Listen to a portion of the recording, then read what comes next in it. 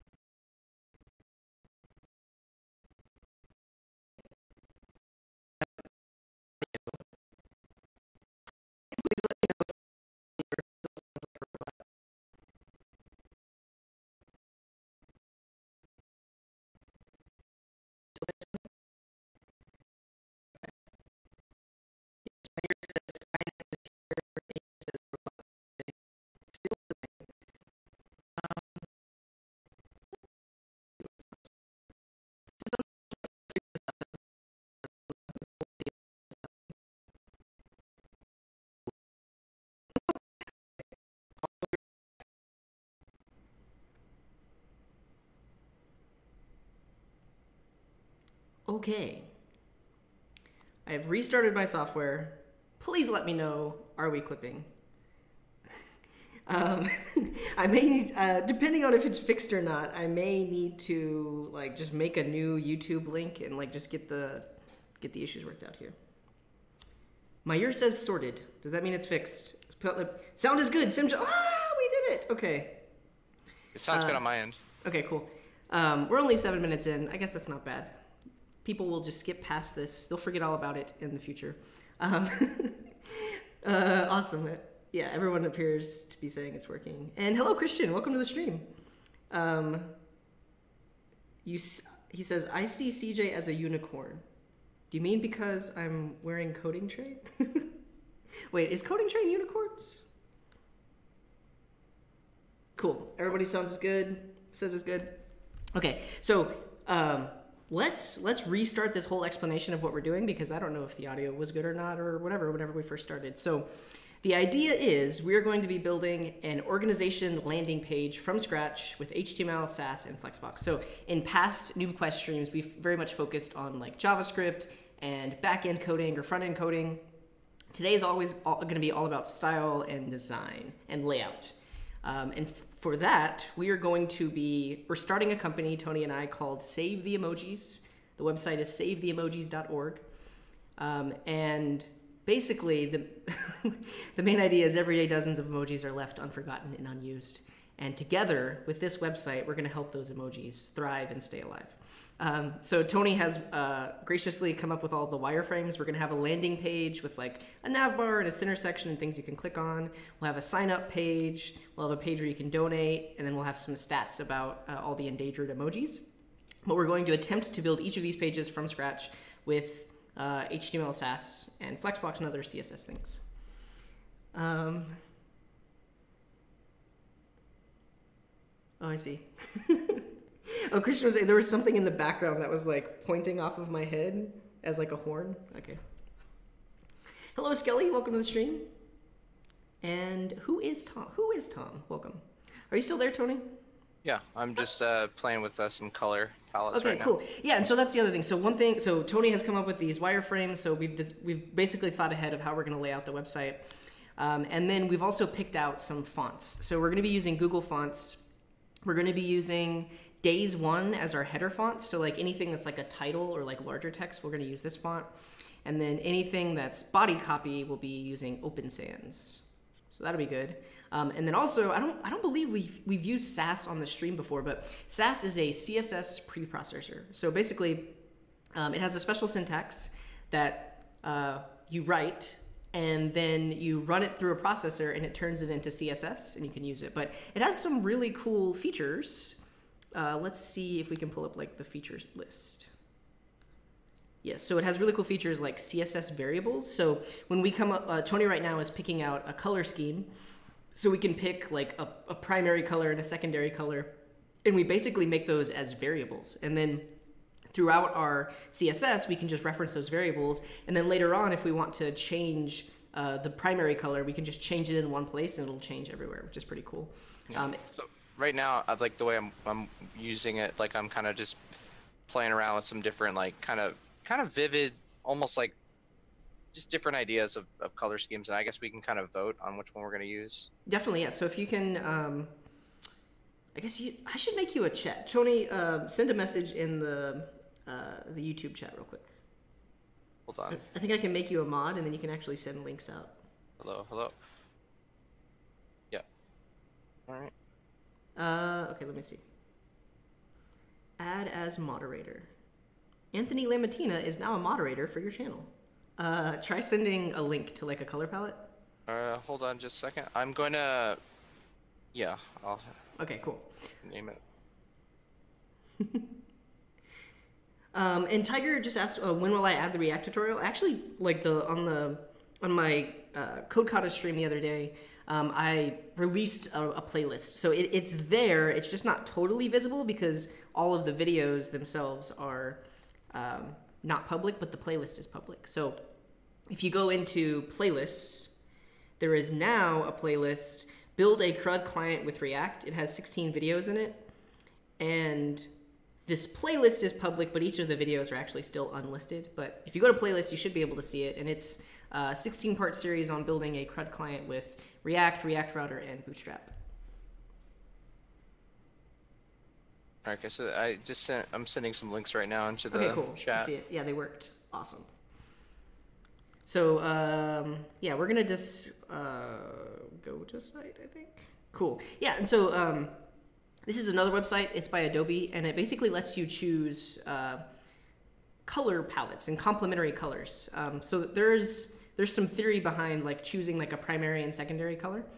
Um, so Tony is going to send out a few of them, and we can we can choose which one we want to use. Yeah, and then if we don't like any of these, then just keep going. And the cool thing is, is like you could you could look at this this theme and like edit your own copy, like uh like that little button in the bottom corner where it says edit copy under actions.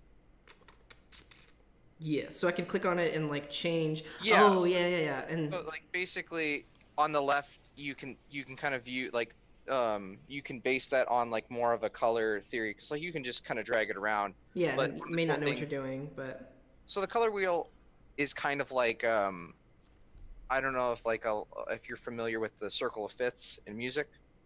a little bit. Yeah, basically every like color has some sort of like complement or um, every like other color is related to it in some manner. So like the complement of a color is is like the opposite of that color. And typically, like on the wheel, it'd be like almost on the opposite side. Exactly. So like with this one, we have it set as custom, but if we choose analogous, now like anytime I move, all of the other things in the palette are moving to become like complementary to the colors that I choose. Right. And so like one of the cool things is like right below you can actually see like the hex values of the colors that we're selecting. So we can actually um just immediately put those in our CSS or whatever we're using. right? And I guess uh, another thing to talk about, um, uh, because a lot of times with like choosing colors in design, you have to take into like accessibility. So like um, a lot of people like to do like green for success, red for error, yellow for like warning. Um, but coming from someone like you, Tony, who's colorblind, um, if they don't choose the right like contrast of those colors, they're actually kind of like hard to differentiate. Um, so I'm also guessing like for you, because you chose out these color themes, they're probably a little bit more um, distinct between the colors. Yeah, that's exactly. Like I, I I don't mind like color palettes that are like more like kind of washed together, but for me when I usually pick things like if it's not like some sort of like fine art like painting type thing, I like things to be very distinct. Um, so like the first one I, I, I sent you um, This that one, yeah. Yeah. that one right there. Like I, I I really like this one because I feel like the colors are all for the most part really distinct. Yeah, I mean, to me, these two blues are like fairly similar. This one's a little bit darker.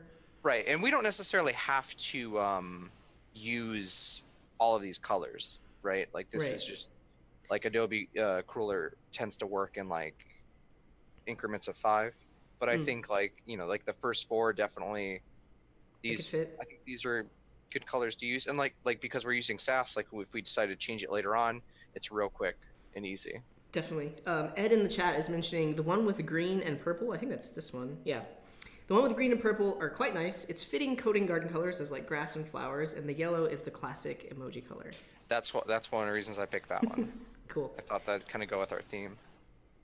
and it's Awesome. this whole thing is kind of um i don't know if we mentioned yet it's kind of like a, just a parody a little bit of uh like kind of a generic startup kind of save the world like Mm. millennial kind of thing right, and that's so that's the idea. Like, um, we have come up with these mock-ups, but like there's so many websites today that like have this very similar layout, um, and you can find like uh, you can buy a theme or like buy a, a layout that looks exactly like this, but we're just gonna try to make it from scratch. This um, might be a multiple part thing or at least we'll probably have some work to do in terms of like off the uh, stream definitely. A g- cool question from Skelly in the chat: Is there any tool to simulate colorblind view? There is. Yes. Yeah. Do you know which one? Um, uh, I just type in colorblind viewing tools or something colorblind Chrome extension. I know, like within like, a lot of the Adobe products, there's colorblind settings. I Hmm. use a lot of um, when I'm trying to view colors. I'll use a lot of like eyedropper type tools. So if I select a color, I can see like what color, like like there's a generic name for whatever color it it is.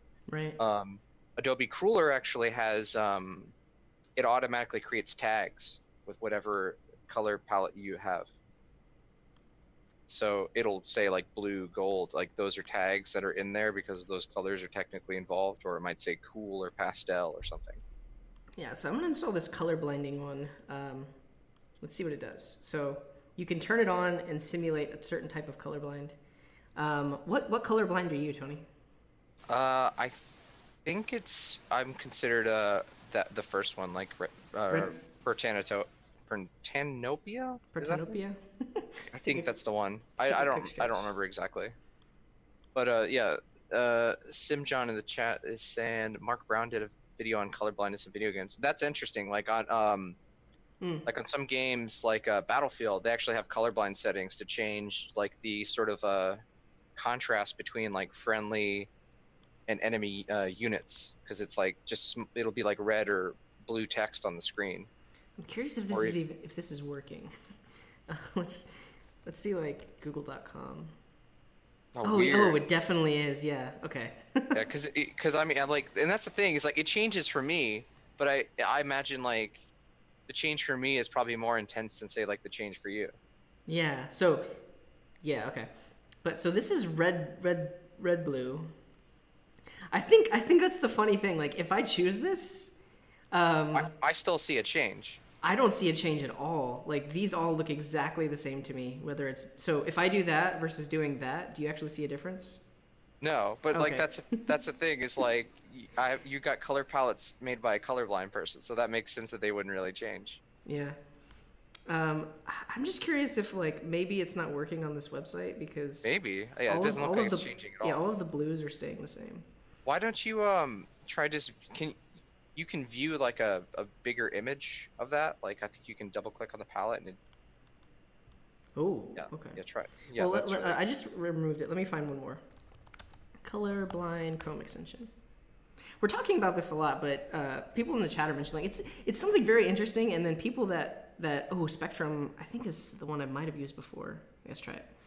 Um, if you don't think about it, then you just never do it or never would think to do it. But, but- this is kind of like how we were talking before, like people with uh, visual impairments, like how do they even use the internet? And there's Right. like the screen readers and all these sort of things that like I think it's really important that you consider these sort of things. Because for example, if the color distinctions aren't very vivid, like if I'm looking at a some sort of chart, like a map, for example, that's supposed to have like uh, you know it could be crime rates, it could be um, Mhm. locations of whatever.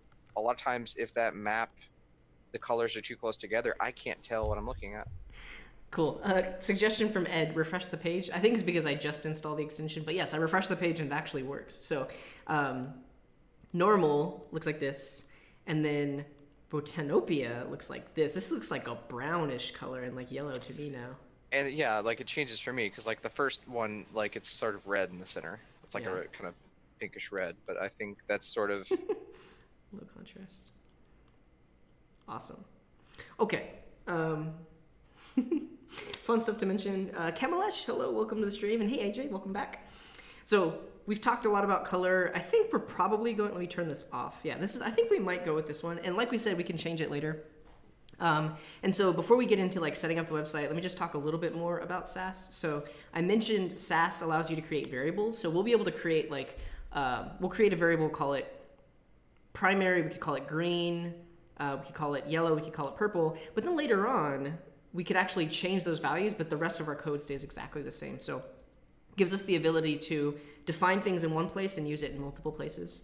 Um, the other cool thing is nesting. So a lot of times with CSS, you're targeting like a parent element and then some child inside of it, um, and you actually have to define multiple um, CSS uh, rule sets to target them. But with Sass, you can nest them. So this is like uh, target the nav, and then any UL that's a descendant of the nav should have this style and then any li that's a descendant of the nav will have this style. So um, it looks it, like it is it looks like css because any valid um, css is valid sass or uh, scss um, but it gives you these cool features. Um, it's important to note we are going to use the scss version which like looks like uh, css there's also sass which uh, doesn't have um, uh, curly braces or semicolons and it's based on white space but i prefer to use this one because it looks a lot similar to css it's it's easier to go into if you've already done css before I, yeah, I think uh, SC, SCSS I think just makes more sense.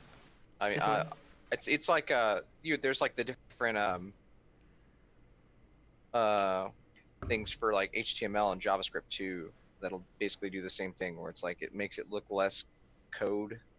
well yeah like well um, so those are like white space languages. So yeah so like this is a white space language.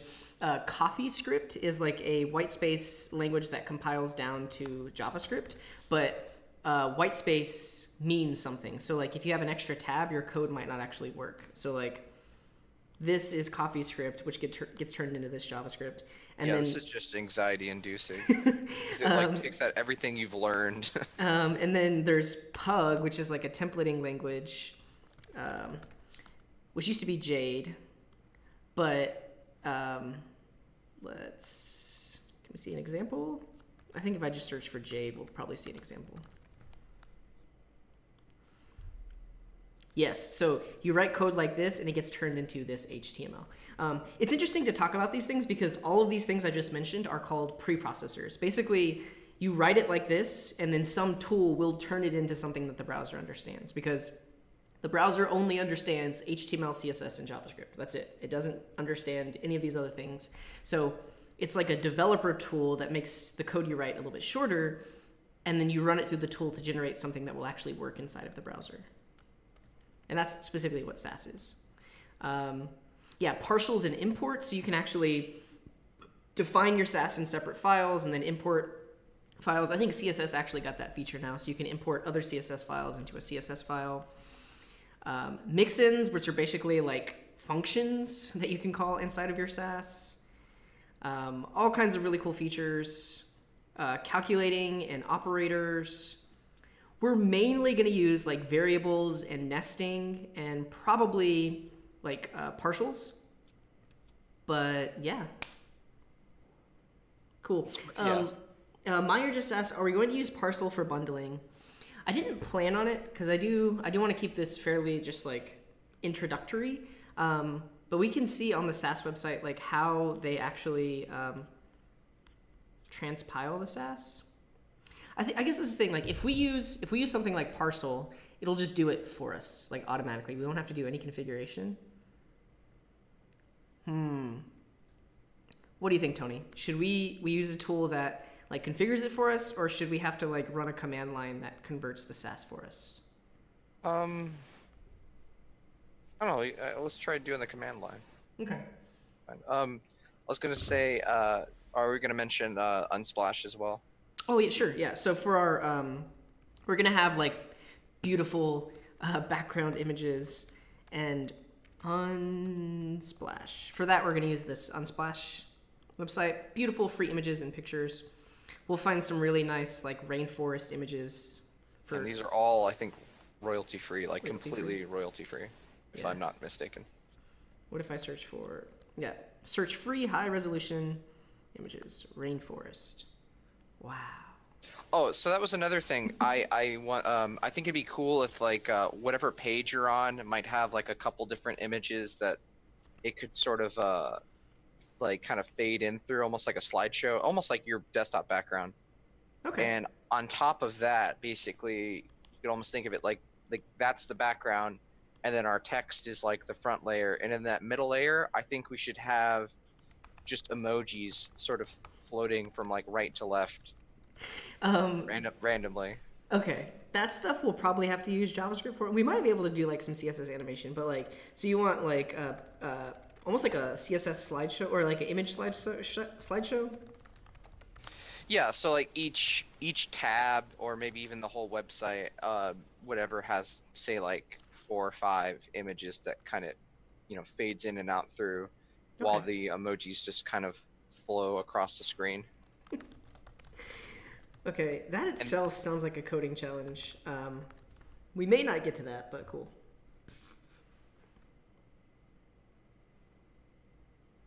Am I missing anything? I think Yeah. that's pretty much it. Um, Okay. this is gonna be awesome. It's gonna be great. hey man, welcome to the stream, and uh, in Mr. Mr. Quirk, that's what I'll call you. Hello.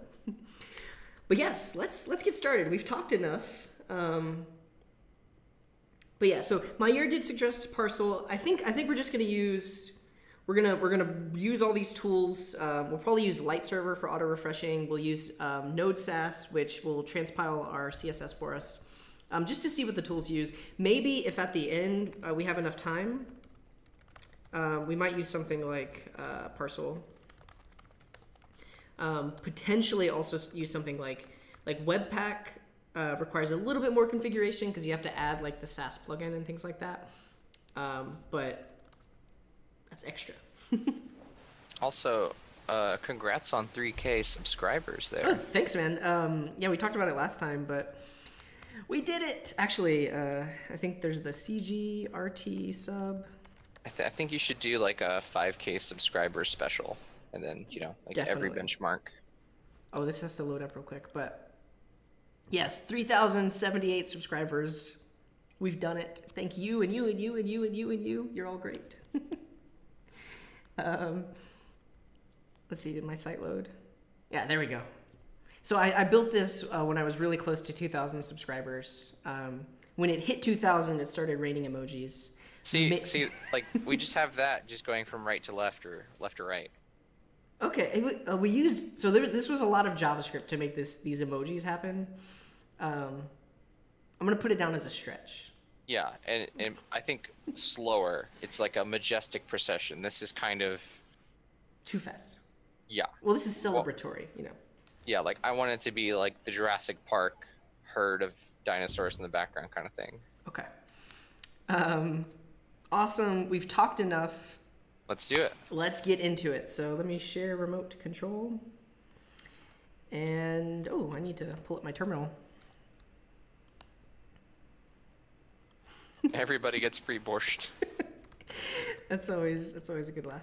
Um, and then save the emojis.org. I actually did buy that domain this morning, so don't even try it.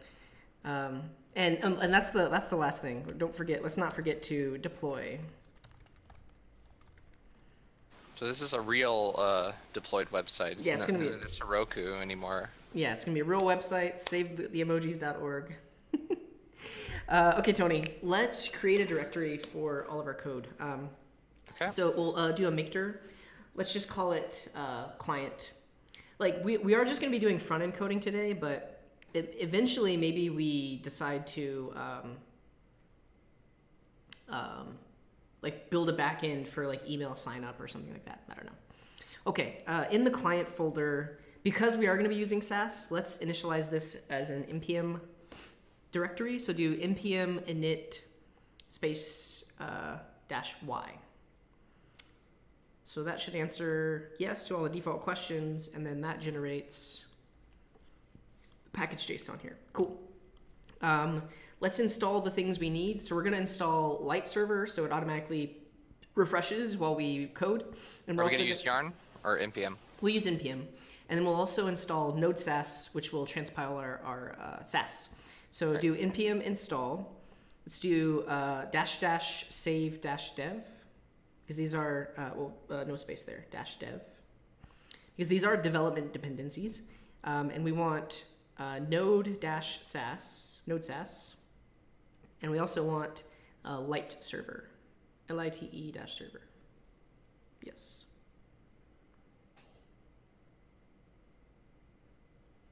And I think with Lite Server, um, my experience, like you need to have an index.html file, or it won't work properly. Wait, say that again. Um, with Lite Server, like you need an index.html file for it to load. Yeah, so Lite Server is actually well, actually we may not want to use Lite Server. Be, um, we'll see if we run into issues. Because one thing about Lite Server is it's especially configured for single page applications, meaning like something built with um, where all of the URLs are going to the main page to like the index. Um, that's fine. We'll use it for now. And let's just go ahead and create a, a basic index.html file right there in the client folder. All right, I'm gonna create file. Yeah. If I can click it. Okay, there we go. New file. Uh, index.html. All right, Okay, uh, let's do like a basic HTML template thingy. should be able to do HTML and just tab. Yeah, there we go. Uh, and then I'll go ahead and put the title in because I'm gonna throw some emojis. So like save the emojis. Heart. Heart. Heart emoji. Um, and balloon. Cool. it's my break timer. Take a quick stretch. Oh yeah, uh, Flamingo is mentioning uh, they're on the job hunt after graduating from a boot camp. Stay strong. Um, I think the main thing is like keep working on projects, um, keep practicing your coding skills. Like don't don't let the fact that you don't have a job right now like make you fall away from doing all of those things. Um, because especially like in interviews, you want to talk about like what you've been working on. But yeah, stay strong. And I would say, like, I mean, I'm speaking as someone who hasn't necessarily gotten a full-time job yet, but like, a lot of areas have like um like some sort of Slack channel or something for like developers, and like you can find out about a lot of really cool things, like whether it's meetups like for networking opportunities or even like job postings within that. It's, like, Definitely. really good resources. So like I'm I'm in the New York City uh, JavaScript tech Slack. I'm in the the Denver one, and both of those have specific job channels where they just talk about opportunities and things like that. Um, Christian mentions he's on the job hunt as well. I am personally actually on the job hunt as well. um, We're all on the job. Hunt. We're hunt right all on the job hunt. Yeah. okay. Um, we have we have some references here for. Uh, so we just generated this. We have references to like main and a JavaScript file. For now, I'm gonna get rid of those and let's just have like an H1 that has this same message. And let's do this. So in our package JSON, we want a start script. So let's change this test to say start. and the value will just be uh, lite dash server. So on the right hand side in the double quotes there, let's get rid of everything. Just make that lite dash server. Cool. And so now that we have the start script in this folder, we should be able to do npm start. And it should open up the browser and show us save the emojis. Awesome. so we've got a basic web page. Let's try to get Sass going. Um, so looking at the documentation, actually let's let's look up Node Sass because that's what we just installed. Um, it should work exactly the same way, but the main thing is um, Sass is actually I think dependent on Ruby, Node Sass. Um, yeah, provide bindings from the C version, but cool. So you could use it in code like this. We actually want to use it on the command line. Doo -doo -doo. I'm gonna run to the restroom real quick while you Go for it. I'm going to figure out how to use this from the command line. I'll be right back. Okay, here we go, the command line interface. So the idea is we're gonna tell it what is the, the Sass file that we want to compile and uh, where do we wanna output it to. Um, so let's do this. In the client folder, let's create a new folder called um, SCSS. So this is gonna be where we're gonna put all of our uh, Sass styles. And inside of that, I'm gonna create a new file called uh, index.scss.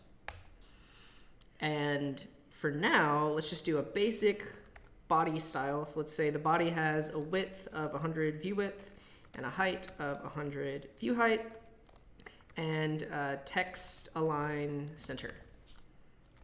And for now, font family sans serif. Okay, so what we want to do is we want to, like right now, this, this is still, this is valid CSS, but um, we still want to take this Sass file and turn it into a CSS file. So if we look at the command line, um, it says we can do node Sass, some options, input, and then where do we want to output it to. So let's create a new directory. And um, let's just call this styles. And basically anything that we transpile is going to get put into this folder. So the thing we want to do, let's call this, um, let's create a script called styles. It's going to say node sass, anything that's in, well, not anything, we'll say scss slash index.scss should be output to styles slash index.css. I'm back, by the way. Okay, cool. So what we have done, Tony, is we created a folder for our Sass files. Right now, I just created like a super basic, like this isn't even Sass yet. It's just um, some some C CSS. But what we want to do is run the command, which will convert this into CSS and put it into the styles folder. Awesome. Okay, and so in our package JSON, I've done node sass. You specify what is the input and what is the output. And I got that by reading the docs here for command line interface. So if we run npm run styles, it should do that. So rendering complete, saving CSS file. And if we go back, we should see now we have a CSS file. Um, the only difference is it put this curly brace on that line. But if we were to write some actual Sass code in here, it would get transpiled in there. Um, and there are some options. So we can pass in dash W, and basically that will um, watch it for changes. And that way, anytime we update our Sass, it'll automatically transpile it, which in turn should automatically uh, refresh the browser. So what we want to do is in our index.html, we want to add a link to styles slash index.css. So go ahead and throw uh, styles slash index.css in there. Uh, slash. Yeah. Because uh, basically, this is where all of the things that get generated are going to go. And our HTML needs to reference actual CSS, so that'll happen. So if we go back, we our styles are being applied. That's awesome.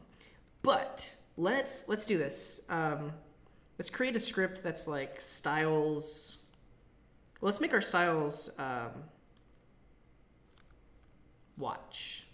So if we do a dash W there, when we run styles, it won't quit. So it should just it should do it, and then anytime a file is changed, it automatically updates it. So if we go back to our Sass and let's let's throw in some some actual um, Sass code here. So let's say we want to target any H1 that is a child of the body. So throw H1 in there. And then let's just like change the font size. So say like font size is 3em. Okay, save it. If we look at the terminal, it noticed that it changed. And if we go back to the browser, um, did it work? I have no idea. We can look at it. And we can see, It looks a yes. bigger. Yeah, it does. So we can see body H1, font size 3em. So we're all hooked up. Now, like, we can change any Sass code. It automatically transpile it, transpiles it, and the browser will automatically refresh. Um, we can also look at the outputted code, and we can see that this actually got turned into like valid CSS. Cool. Um, Let me catch up on the chat real quick. Raphael is asking, how do I feel about using Jade or Pug with Sass? Um, I personally have not really uh, become too too fond of like HTML preprocessors. Uh, I, I like HTML. um, but you, you can use yeah you can use Sass in conjunction with like any other templating language, even, like even for HTML. Um, yes, and Meyer is mentioning we can use concurrently to run them parallelly using one command. Um, so we might do that. So basically, uh, when we start, we want to run styles and lite server. So let's actually let's actually do this. Um,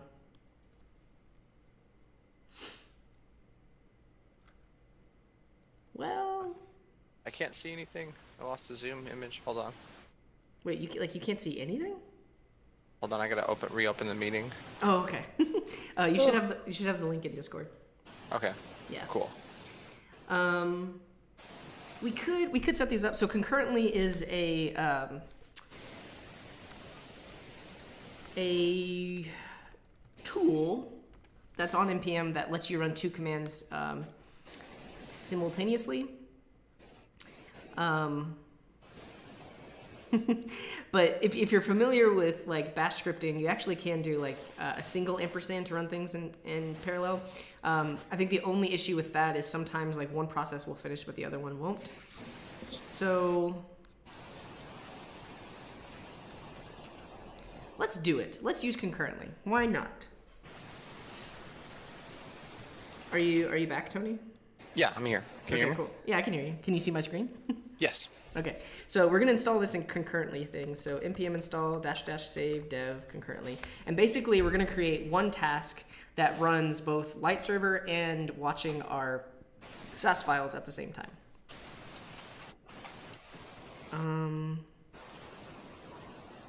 let me see really quick though, because concurrently apparently has vulnerabilities in it.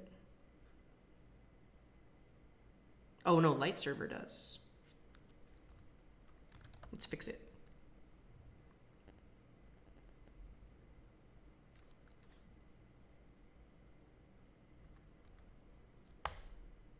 I feel like we're just delaying the actual getting to coding. Well, we're Um, setting everything up. we are okay, but let me let me see. So right now, the issue here is um, npm actually will tell you if your packages have vulnerabilities in them. Technically, this isn't that big of an issue because we're not really even going to be using these tools whenever we deploy it, so we don't really have to be uh, worry about the vulnerabilities in them. However, I don't I don't like that. Um, there's another tool called Live Server, um, very similar to Lite Server, but it just works a little bit differently. Let's use this instead. So I'm going to uninstall Lite Server.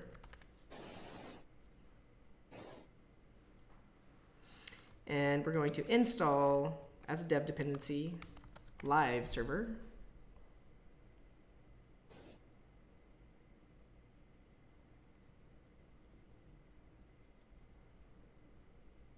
Wait, does this one have... Mm.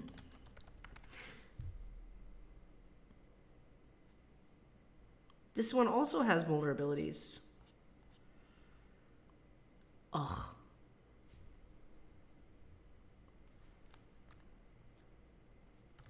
Let's try to fix it.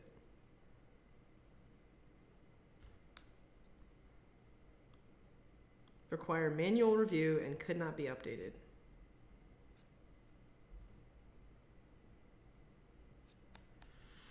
Well, okay. Um, I guess we're gonna ignore that for now. And the main reasoning is um, this is all for local development. Like we're not gonna be putting Node Sass and live server on any server somewhere. When we actually deploy this, we're just going to be deploying the static files themselves, not not the actual code here. So I'm okay with that. But we did just install uh, concurrently, so let's uh, hook that up. So what we can do is so let's create a script called um, watch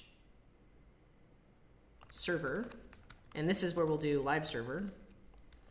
And then we'll create another script called watch styles, and this is the one that watches the styles. And then start will be, uh, we'll use concurrently. So we'll say, please concurrently um, npm run watch server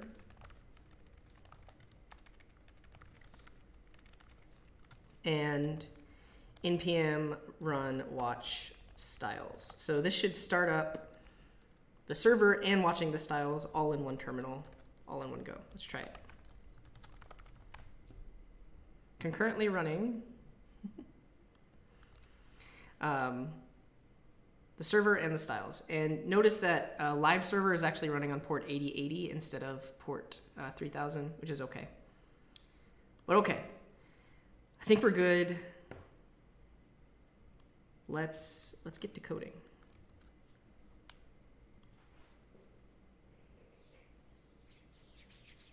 Are you still there, Tony? Yep. Hi. okay, so uh, we're all set up. Let's let's do this. So our first our first mock-up is the landing page. Um, and basically we have like this black nav bar up top, we have some centered text, and then we have like the three buttons here. So um, what I think we should do is um, set up our, our index to, uh, or like our, our main styles to have full width and height and also be a flex box. Okay. Um, so yeah, let's do this. And the main thing to, to know and to remember is we don't touch the CSS because the CSS is automatically being generated. So all of the we write is going to go in our Sass file here. Um, let's get rid of that H1 style for now. Um, and let's say the body has display of flex.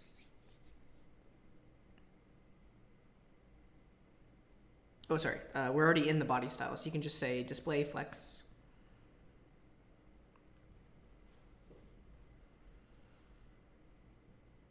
And uh, we want the things to go down. So if you look, if you look at our um, mockup or our wireframe, sorry, it's navbar, middle section, and then the buttons. So if we do flex direction uh, column, it should go. The thing should go down, which is what we want. So let's say uh, flex direction is column.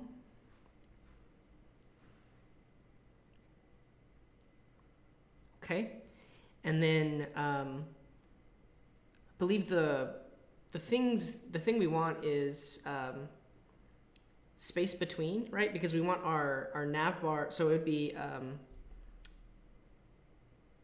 justify content, I think. Uh, yeah, and so someone asked earlier if we use CSS Grid. Um, specifically for this, I think this is a good use case for Flexbox. Um, both Flexbox and CSS Grid have their have their use cases. Um, specifically, I like to use I want to use Flexbox here because um, we're not necessarily putting things on a grid. We're like laying things out, having things horizontally centered, having things all pushed all the way to the top. So to me, my mind goes to Flexbox. You could do this with CSS Grid, um, but I think Flexbox is good for this. There might be something that we do use CSS Grid for, like potentially maybe like on the donate page for these three things. Still, this could be done with a Flexbox. Um, but let's try um, justify content space between. Okay, let's see what we get so far. Okay, that's still there. that's great. Um, it is detecting our changes, so that's awesome. Um, but let's do this. So let's get rid of this header and let's just create, oh, sorry, get rid of that H1 and let's create a header. So let's just uh, use like the actual header tag. Uh, or like, uh, I'll show you, header. Yeah, that's a Oh, legit, it's a legitimate tag. Um, and so let's now style that. So go to our, our Sass file. All right. And let's say, um, yeah, let's do it as a uh, nested styling. So a header that is a child of body, let's give it a, a background color, or so, just say, yeah, background color uh, dash color. and um, let's actually, we could use a variable for this. Let's, let's use a variable because we can demonstrate how those things work. So if we look at the Sass docs for variables, um, you define your variables with a dollar sign and then give it some value. So let's say up here, um, let's Yeah, define let's, a, bring, let's bring in our colors. um, are we going to be? I think. I mean, are what color will the the navbar be then? It's going to be one, of Uh, the, one of the colors that we choose. Yeah, yeah, yeah. Like, uh, Okay. let's see. We've got the Adobe.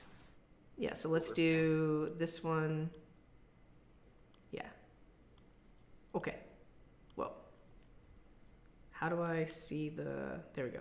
There you go. Okay. So let's call this. Which which one of these colors should our header be? Should it be green? Hmm. Oh, let's. I like that one on the the far right. Like the blue? the blue. Yeah, let's Okay. use that one. So Okay, there's the hex value.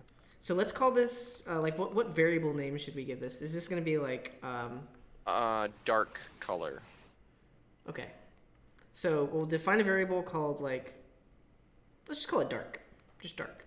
And the value is actually going to be like the he- uh, hex value dark. Cool. And then now that we have this variable, we can say background color is dark. And now anywhere else in our CSS where we want to use that, we can just say dark. Cool. Um, let's so we've given it a background. By default, we won't really even see it because it doesn't have any height. So let's give the header, let's do a height of like, uh,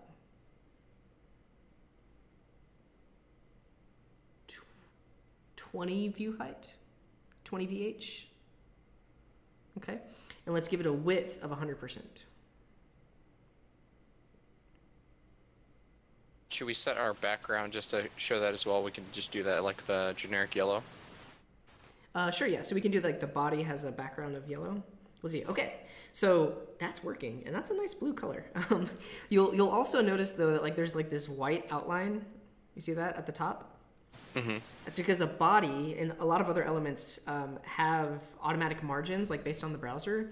So what we can also do is um, let's just do like a reset. So let's say every single element margin is zero pixels and padding is zero pixels. So if there's any default styling by the browser, we're just like removing it there. And if we want any padding or margin, we'll, we'll add it ourselves. And that gives us a nice little header there. Cool. So instead of 20, let's try like 10. That's decent. Okay. And uh, yeah, let's try giving it that background color. So um, if we go back to our color wheel, we want this. So let's create a variable for that color. What should we call it? Uh, we're gonna call that like, I guess like main color, because that's like our center color. Uh, let's call it primary then. Yeah, that'll work. Let's create a variable for it. Primary. and I don't think I'm sharing the uh, clipboard with you. Or actually, I Um, think well, I am. Uh, hold on, let me try. Let me try. You have to do yeah yeah yeah. You have to do Windows V instead of uh, that. Yeah, and then I'm just gonna do hashtag. There we go. I, I really like that uh, the the way it like puts that little square there. Yeah, it tells you tells you what color it is. I think that's uh, built in. I don't think I have an extension that's doing that. I think it's built into uh, VS Code. Visual Studio. Yeah. Yeah. All right, so we'll do that on body. Yeah, so give body a background color of primary. And hello, Gifted Fingers. What's up? Welcome to the stream. Uh, and Merchan, it's been a while. Welcome back. And think, And Vias, hello, hello. I think I was mentioning like I think it'd be cool like um that we almost use. This is gonna be like super technicolor. um, this is not the, the prettiest colors so far, but I don't know, it's fine. Um, let's also go ahead and add in our fonts. So we decided we wanted uh, Days One as our header font, so let's select this. We also wanted um, Open Sans as our body font, so let's put that in. Oh wait, what was that other one called? I think it. Let's see. Day, days one. Days one. Yeah, days one and uh, Open Sans. So Yeah. on on Google Fonts, we selected both of those, and this will actually give you a link tag for how to add them in. So we're gonna add the fonts to our HTML, like right there, above our CSS. And then now to actually use them, let's do this. So we'll say our body has a font family of Open Sans. And then let's target all of the headers. So do like H1, comma H2, comma H3, etc. uh, Jimmy is, uh, is saying these colors are ugly. I think They- yeah, they- like they seeing them bigger definitely made me realize that. Like seeing them as like small little squares, I was like, all right, these look nice next to each other, but taking up the whole screen. They're very ugly. I think I, I honestly do just kind of want to do like a black nav bar at the top. Let's, and then I don't know. We'll see.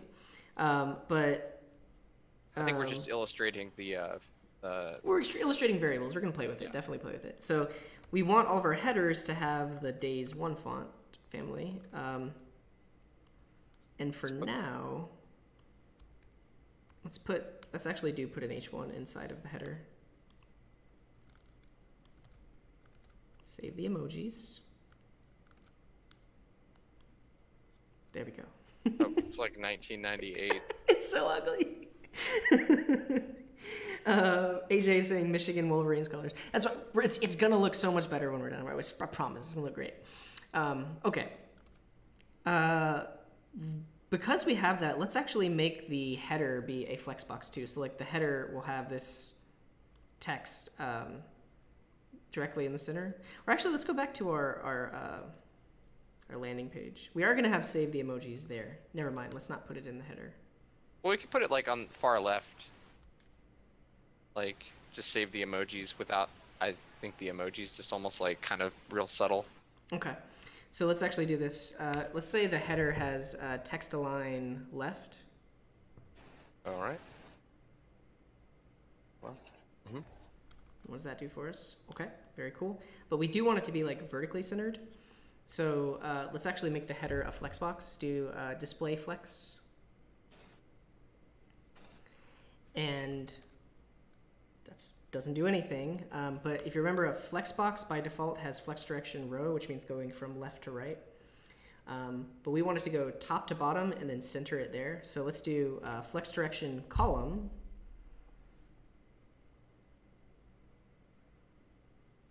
Which shouldn't change anything, right?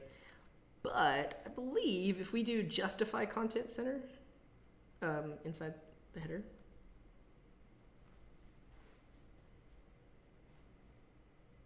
it should vertically center it. I might have that confused with the line items. Let's see. Ooh, look at that. um, so now it's like vertically centered inside of the header. Um, and maybe we get give it a little bit of. Uh, padding Left. on the left. yeah, well, we don't want the header to have padding. We want the H1 inside of the header to have padding, right? Oh, well, no. Let's do some padding. Yeah, just to say, like, uh, padding left uh,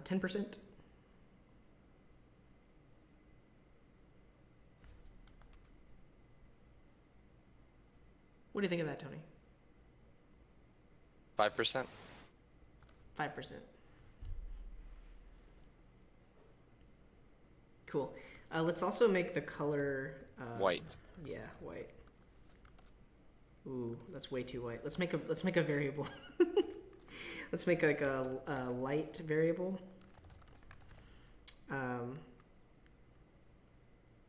and what does three three three look like? That's dark.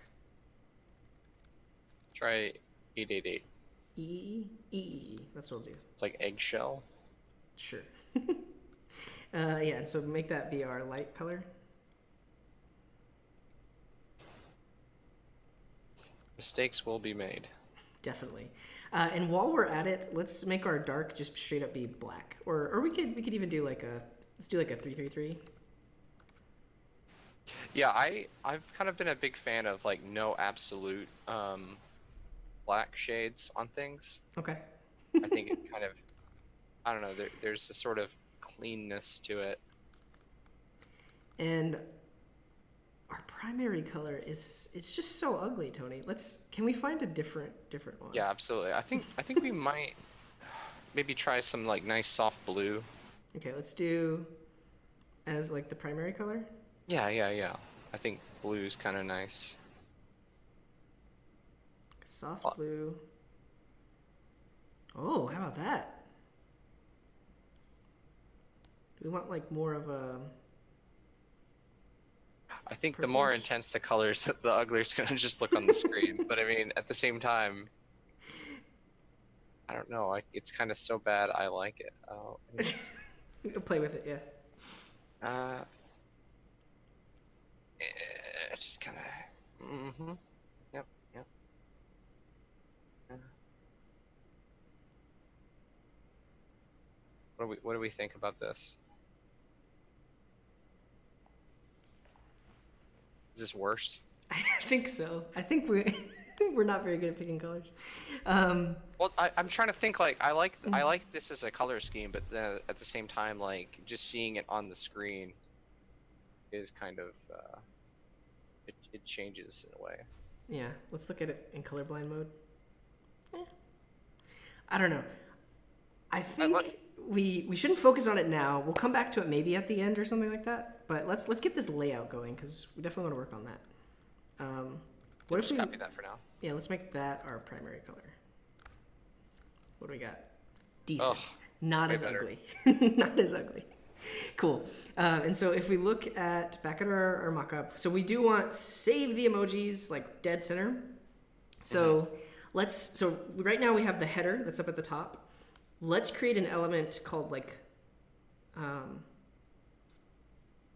I was thinking we could do a main and put everything inside of that. Do a main, and then we could have like a title, and then Inside of the main. yeah, and then we'll have like almost like a, another element under that that cards, and like those could all be like their own little row. Okay, so let's do a main element right there. Uh, Sean is asking, is this unicorn vomit scheme? Yes, that's what we'll call it. um, so we have our main. Uh, let's do like an H2, and this one will say save the emojis.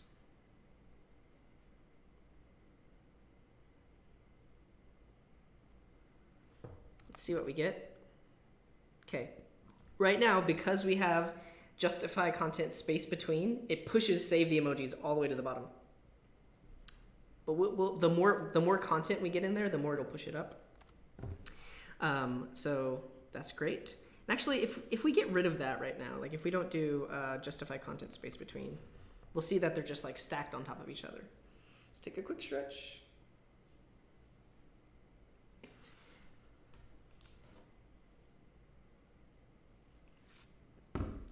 Um, yeah, we do want this font to be a little bit bigger. But I guess below that is where we'll have the paragraph tag that says, Every day, dozens of emojis are left forgotten and unused. Do you want to type that or should I type it? I'll type it. Are you still there, Tony? I'm sorry, I was eating a sandwich. Okay, you do your thing, man. Everyday emojis. Let's put this uh, right. Every day, dozens of emojis are left forgotten and unused. Together, we can help them thrive. All right, see what we get. Cool. um, let's actually let's just like bump up the font size on the entire website. Um, I think right now, did we mess around with font size anywhere? No, I don't think so. We didn't, but it, it would appear like this H1 is like really big for whatever reason.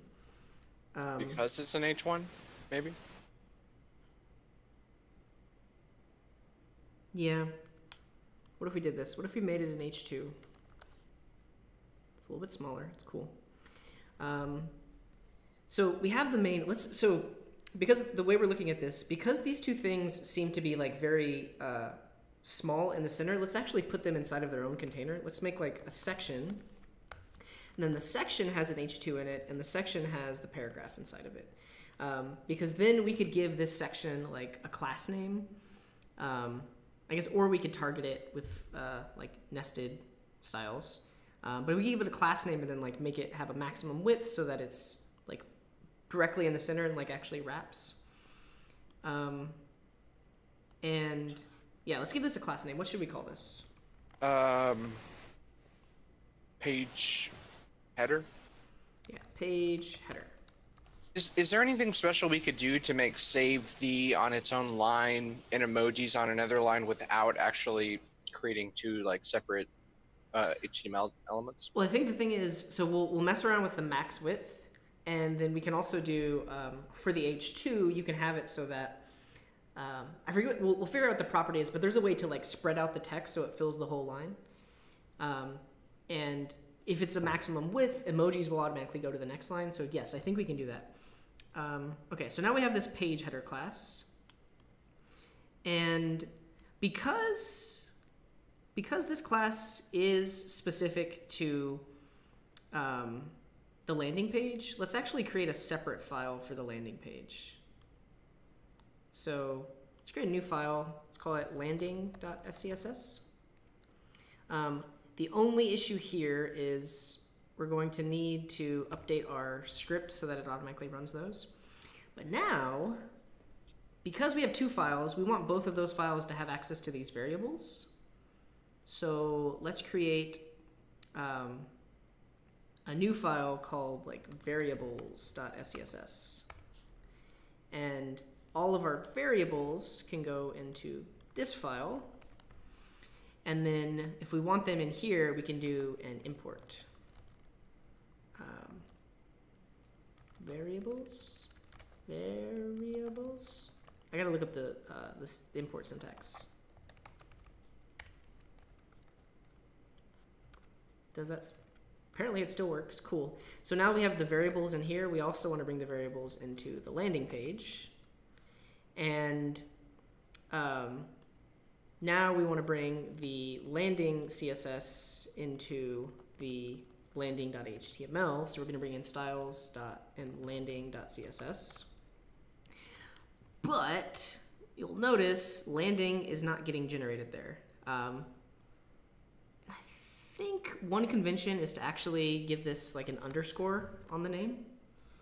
Um, yeah, Meyer is mentioning make them partials. Let's look up at let's look at the um, um, Sass documentation on partials to see how that actually works. So you can create partial Sass files that contain little snippets of CSS that you can include in other Sass files. This is a great way to modularize your CSS and help th keep things easier to maintain. A partial is simply a Sass file named with a leading underscore. Uh, you might name it, name it something like partial.scss.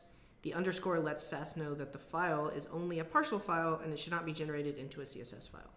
Cool. So by giving it that underscore, it makes it a partial. And actually what I'm thinking is um, because index is already bringing in variables and landing will only ever be used with index, we don't need to import it twice. We do, however, need to start transpiling uh, landing.css. Um, let's look at node Sass and see how they do that because we're now transpiling multiple things. Let's go to the command line interface.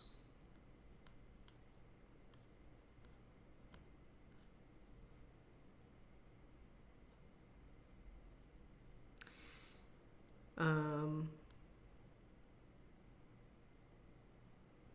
output directory. I guess we could tell it to look at all of the things in the source folder and then output all of those things into the uh, CSS folder. Let's try it. So um, in our package.json, let's say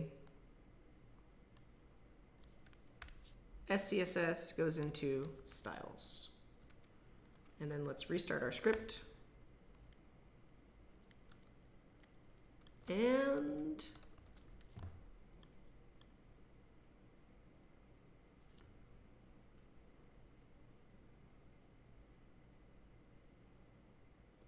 yeah, um, main. So Meyer is mentioning we should uh, make uh, landing a partial two. The the only thing is I want to have multiple pages, and the landing page is going to be the only one that includes landing.scss. Um, index won't include that.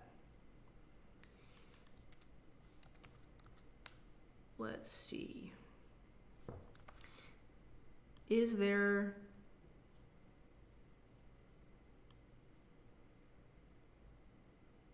input output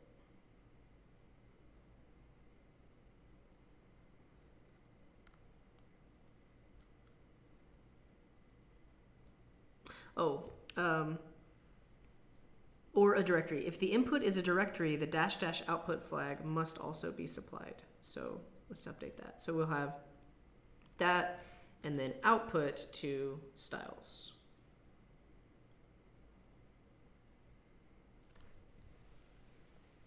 Yeah, so Ed is mentioning um, they usually import all of the files into main.css and then compile just that main.css. Um,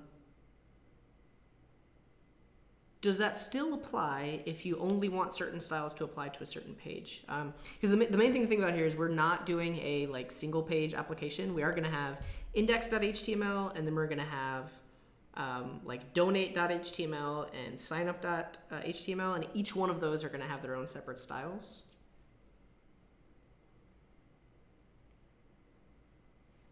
Yeah. Um, let's see if this worked though. So if I restart that, that's there. And now,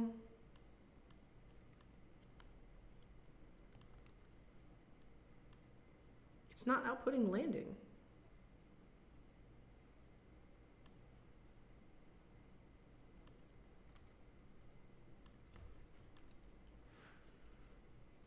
Do we have to change the link uh, on the uh, where Well, the- it's Well, the main thing I'm looking for is because I updated the uh, Sass script.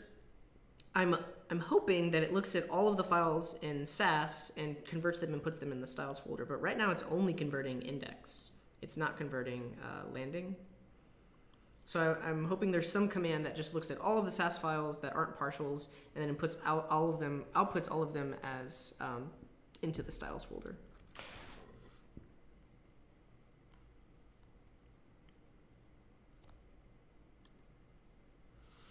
Watch a directory or file, output directory. R is recursive. Recursively watch files or directories. Let's try it. So watch recursively. Well, recursively would mean like nested directories, right? Let's see.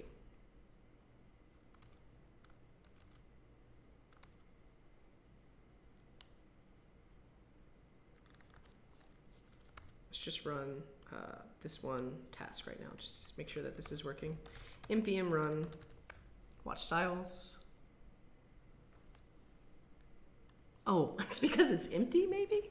Um, one one style we wanted to do was like uh, page header has I don't know max width of yeah, change change all the H1s to like all have the light text, or just all text to really have the light text right now. I figured it out though. It's because landing was totally empty. like there That's what I'm was saying. Like we're, we're use that to like test. yeah. So but I but the moment I put stuff in there, landing popped up in the styles. Okay, So that should be okay. working. Cool. Yeah. Okay. False alarm. um, but that that's technically working because now uh, page header has a max width of 30%. Um, but we do want the um, uh, main itself to be a flexbox that will then center those things. But let's before we get any further, let's split some things up because um, I, I like what people are mentioning in the chat. Like you have a main file that you import things into.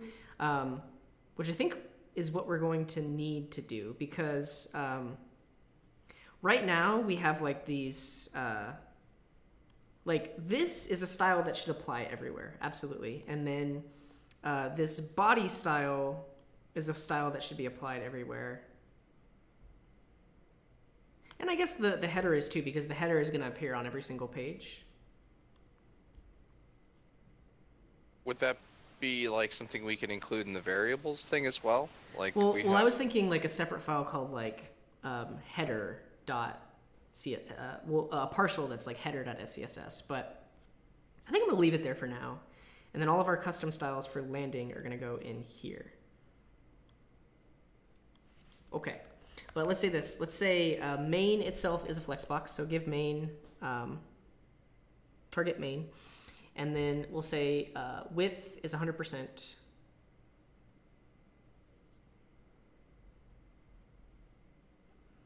And then we don't have to call Flexbox again because it's already been declared Flexbox. Well, is has main already been declared a flexbox? I don't think it has. In index? We only Oh, no. did. Uh, so we have body as a flexbox, the header is a flexbox. We're gonna make main also a flexbox. Okay. So yeah, so display flex. Display. um, and then justify content center.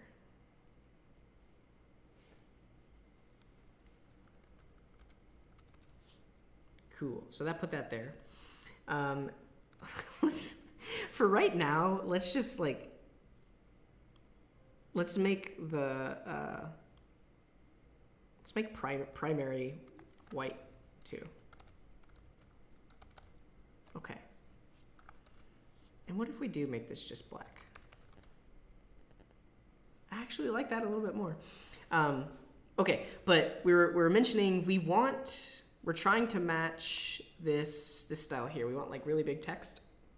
All right, so we need uh, an- also like a little HR between them. Okay, The B and the. that'll but I guess the yeah. So for page header, let's let's just give it a larger font size. So like uh, font size like three M maybe. Okay. Okay, it's a little bit better. And then now we want all of this to be in all capital letters, right? Yeah, so we'll do text transform. Yeah, so on the page header. Well, actually, we want page header um, We only H- want the H1. H2. H2 of that. Yeah, to be uh, transformed. So we can use the nested styling. So page header H2. Okay. H2. And then we'll just bring those guys over here for the font size.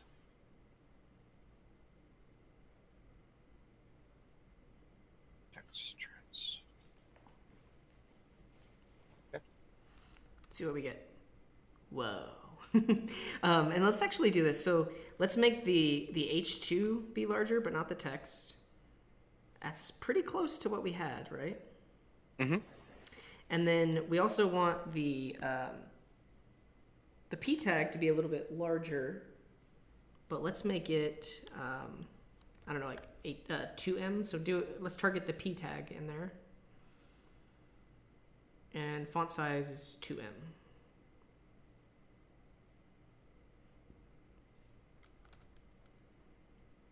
Every day, dozens of emojis are left forgotten and unused. Together, we can help them thrive. um, right, and you were mentioning if we do like a little HR Yeah, just uh, in between- separate the. Yeah, right there. Let's do HR. Okay. Um, it's there. If we look at our, our mock-up, I think we could probably do like like we could probably say like uh like 90% of this particular div. uh, instead of full, yeah, let's do it. So let's Yeah. say the HR its width is 90%. HR, not H1. Oh, great. Sorry. Uh, HR is with. Oh, Whoa, whoa. Okay, go ahead. width is 90. Do- Uh, to control HR, is it font size? Um, I don't think so. I think we're gonna actually have to change maybe the height. Um, okay, so it is ninety percent, but it's not centered. Um, can you do a text align center on this HR? Yeah, I could have sworn you use like uh like basically text stuff to edit it. Yeah, No, that, did, that didn't do it. I So look at I the HR. You have to justify content because it looks like it's shorter on the right. Um,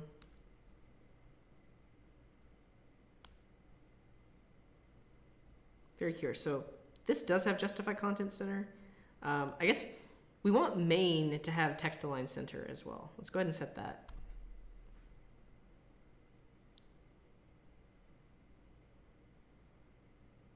Okay. But the HR is um, Let's let's put let's take away that uh, percent and see if it changes. So yeah, see. It's Yeah, so it's making the it- right. It's making it 90 cent. Um, interesting. Yeah. So Ed is mentioning, I think it's easier to use after to set border instead of using HR. So instead of having like a separate element there, we could actually say like after the H2, it has a border. Mhm. Let's try to do that. So because that should be just the text underneath it. So let's not do an HR. Let's say, uh, and this is a pseudo selector. So H2 after and let's say uh, border bottom. Um, what? Maybe border will work. Let's just try border. Yeah, border. And let's do like two pixels solid, and we'll use our dark uh, variable. What do we get?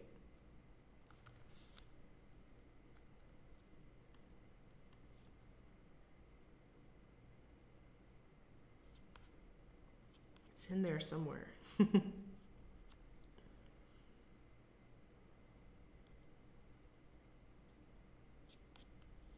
only thing is we can't see it. Um, not new style rule, but hover active class.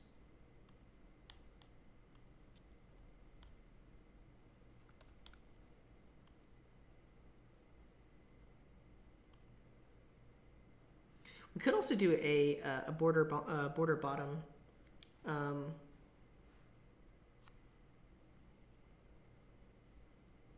oh, cool! Yeah. So uh, Ed is mentioning how we could do this with um, the um, with with Sass. so nest the H two itself. So we could do. Oh uh, yes, we could do a a nested selector. So this is like Sass syntax. So you say this. So this is an after selector for it. But we also need to give it content so it actually shows up. Um, content is nothing. Okay, still don't see it. Am I am I seeing that right in the chat? Like content is just an empty string. Hmm. Hello world. Still not seeing it. Let's see how it gets generated. So if we go into landing. Oh, I don't even see it. Maybe we're not doing it right.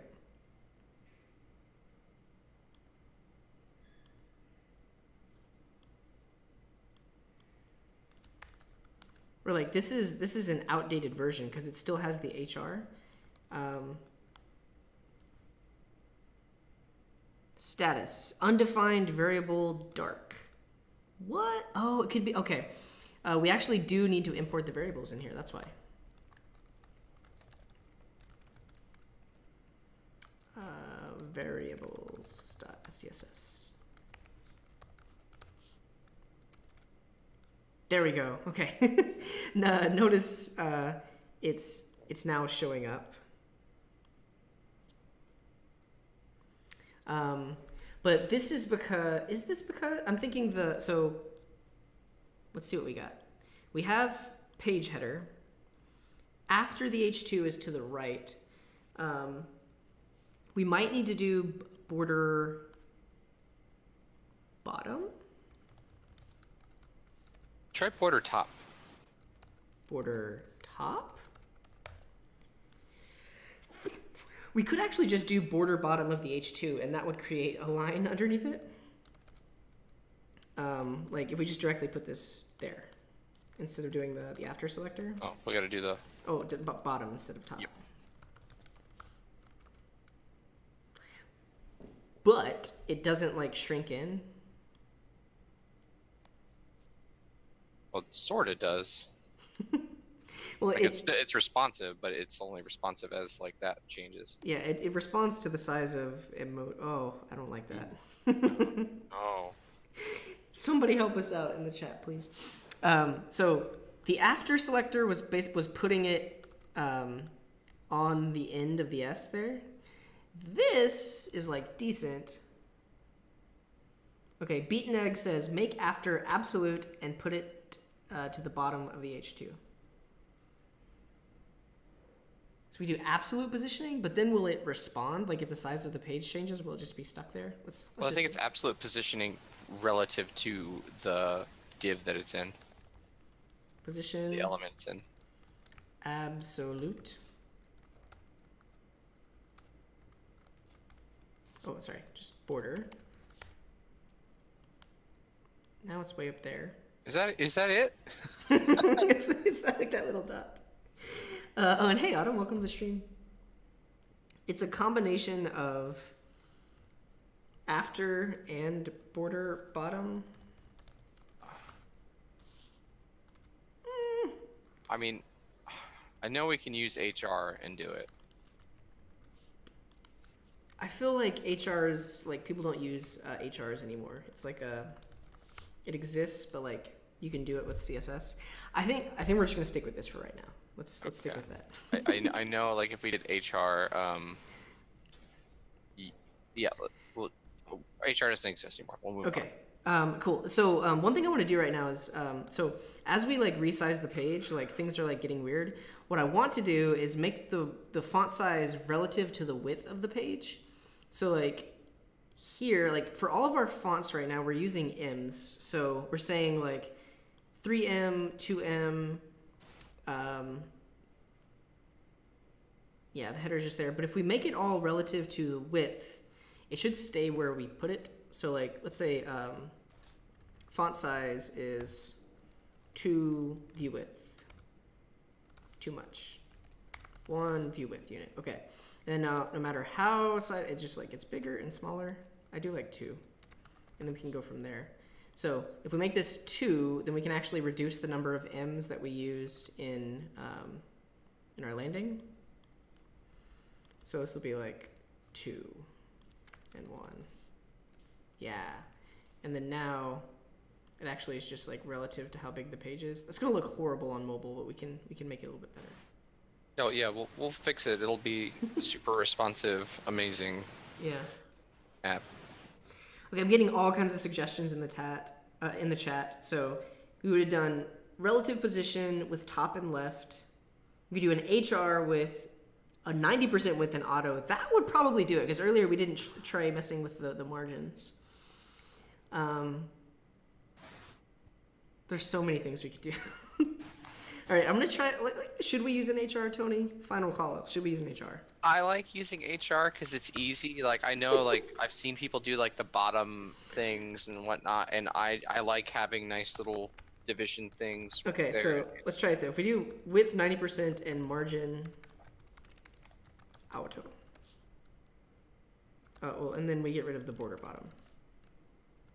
And then let's Uh, do like uh, 60%. Wait, what? you you got a space there. Okay. Wow. How do we make it um thicker on top again? Let's see, uh, Um, height? I think try? No. try try doing a border top, like it like point two m or something. Is that a thing you can do? Yeah. All right, try uh try one m. Try pixels. Where are you looking this up online? Well, I, yeah, yeah, I'm looking at a, uh, whole thing. It's doing try nothing. try two pixels solid. I I think we have to say what type of thing it is. There it is. Whoa. I think I think we got there. Now that's technically not like responsive, so we could try using M. uh, what do you mean responsive? Like it stays two pixels, so like two pixels, it like as it gets smaller. Oh, oh, oh, oh, I see. We could do we could do like view width also. Well, way too much. Because the because the font is responding to the size of the view width. Yeah, so try 0.5, Oh, it may it may not go any smaller. try 0.3. Oh, point one. No, too, that's too small. Okay, point two.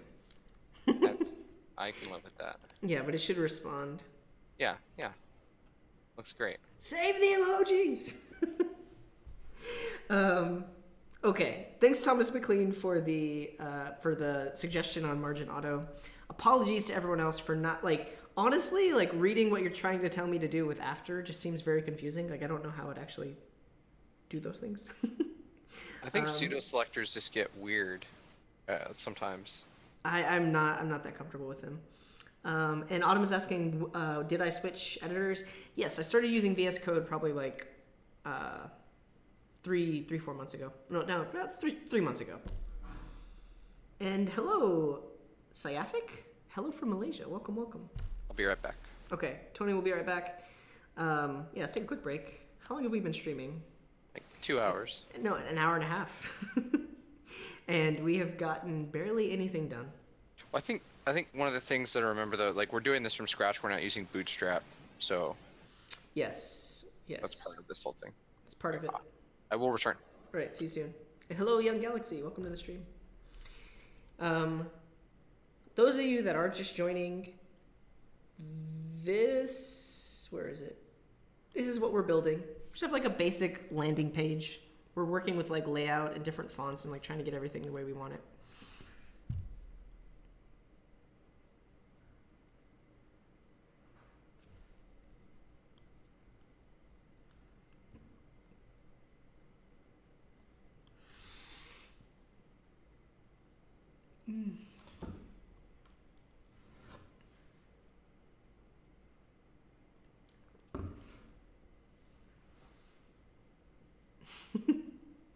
Yeah, uh, Jimmy. I think Jimmy suggested um, margin auto on the HR earlier too. uh, Fernando mentions, "Hello, I found your channel because of Coding Train. Been having a lot of fun here. Appreciate it." Um, yes, Coding Train is great. Super fun. It's like big inspiration for for myself doing this um, like live streams all the time. Um, let's just pull up his page, Coding Train.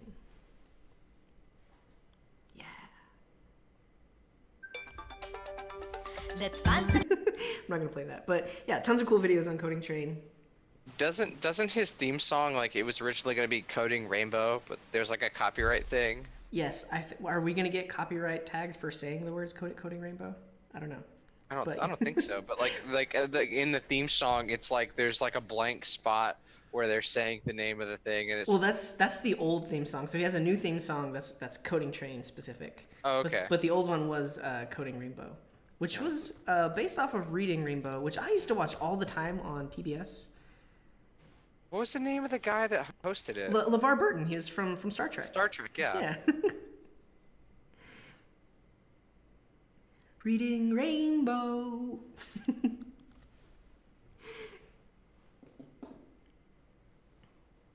um. Oh, cool. Ed, Ed just shared a CodePen. I'll pull up Discord really quick. It's like sometimes. So I, I definitely we've talked about it in the past. I want I want to build an app where you all can like maybe modify the code that I'm working on in real time and like share it with me um, because it's so hard. You know, your your guys are trying to describe things in the chat, and like sometimes I figure it out, but sometimes it's just like so hard to get to. okay, so we've got save the emojis. Ah, okay. Position absolute, left zero, right zero, bottom zero. And so um, that takes it because the way we were doing it, it was showing up right here. but by absoluting it, that pushes it below it. And then we still have to do the margin to make it in the center. Very cool. Thanks for that, Ed. Uh, Jiraj is mentioning um, this channel is without space melons. I do have space behind me, but yeah, if you, if you watch Coding Train, uh, Dan will uh, eat uh, melons that blend in with his green screen behind him, so they're like invisible, which is pretty cool. That's amazing. Yeah. Um, and Christian's mentioning, yeah, we need more melons. Um, okay, I think that was a good break. yeah, I, I still think you should just wear like a green shirt so you're just a floating head.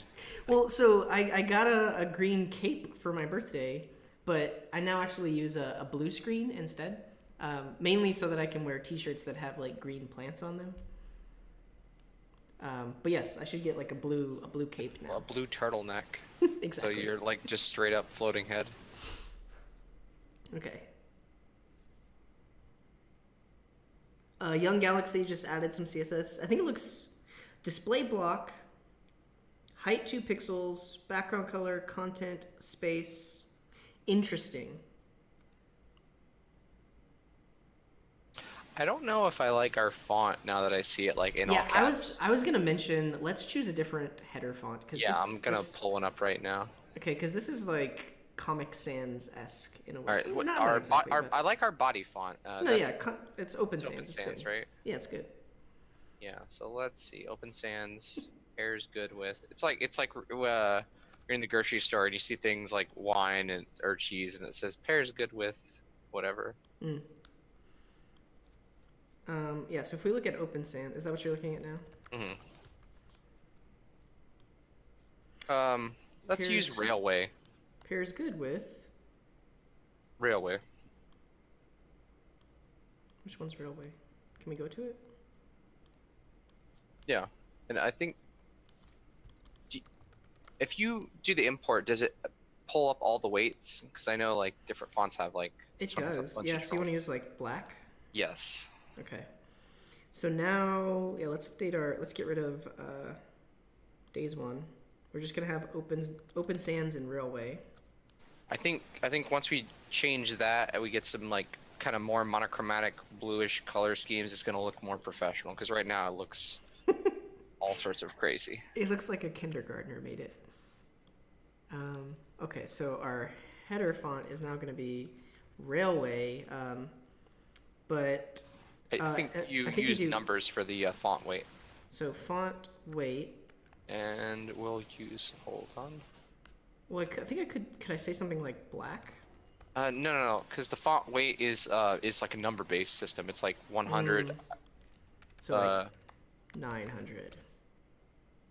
no, I don't. It's not even that's one Raleway. So we want we want this. Oh, Raleway. Reg, uh, I think we might have to add it. Black. That's what that's what I was saying. So yeah, we add black, and then if you click that uh, add to our font thing, Here? it should say, click down here, or I'll do it. Um, Customize. Oh, there we go. yes, Yeah. Yes. Black nine hundred. Load time moderate.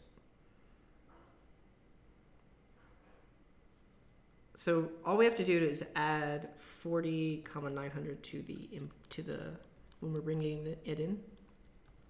mm-hmm. So 40, you got 400. 400, 900, and then now in our CSS, uh, I made it so that font weight is 900. Are you ready?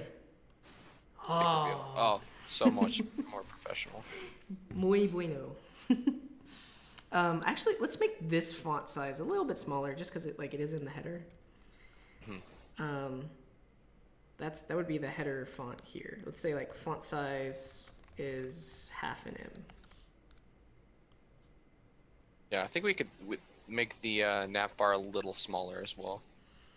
Cool. Um, it is seven view it height. is based on view height. Try seven. It's a little bit better, but the only thing is like the smaller it gets, like the tinier it gets. Oh boy. I think it's fine. It's fine. We'll come back to that. We'll come back to it. Okay, so we're, we're, we're doing decent. So we have our nav bar, we have our little center area text. Uh, let's put those three column things below it. So we want a section that has like a sign up box, a donate box, and a stats box. And each one of those is going to link to a separate page. I think we can use like some font awesome icons in there. Okay, um, we will definitely do that. So in our HTML, we have a section which is the page header. Let's have another section which is, um, we'll, we'll call it, I don't know, like page Uh, box, page, uh, link boxes, link buttons, Link item- cards, link cards. I like it.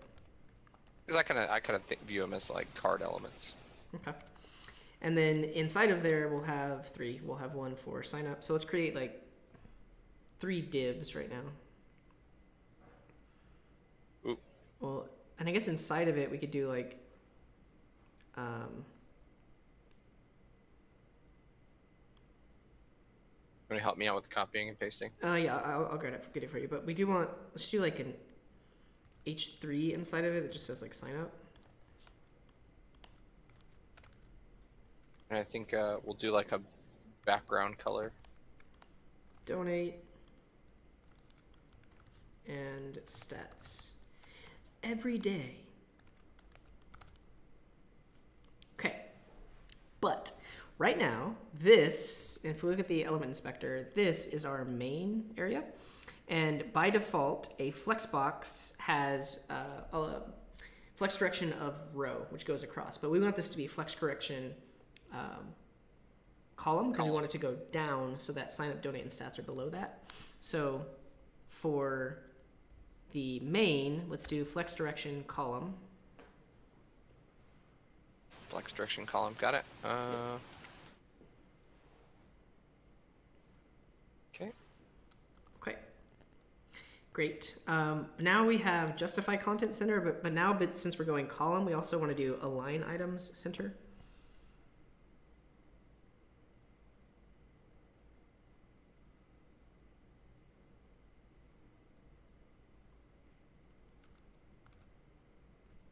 There we go. Cool. And then um, we want these to be, I guess, like three across. We can create. Space around. maybe? Well, this is now uh, another a nested section. So we could make this a flex box, or we could take all of the divs inside of it and make them like display inline block. So that way um, they go side by side instead of on the next line. Um, also, we could maybe come up with some sort of like uh, card class.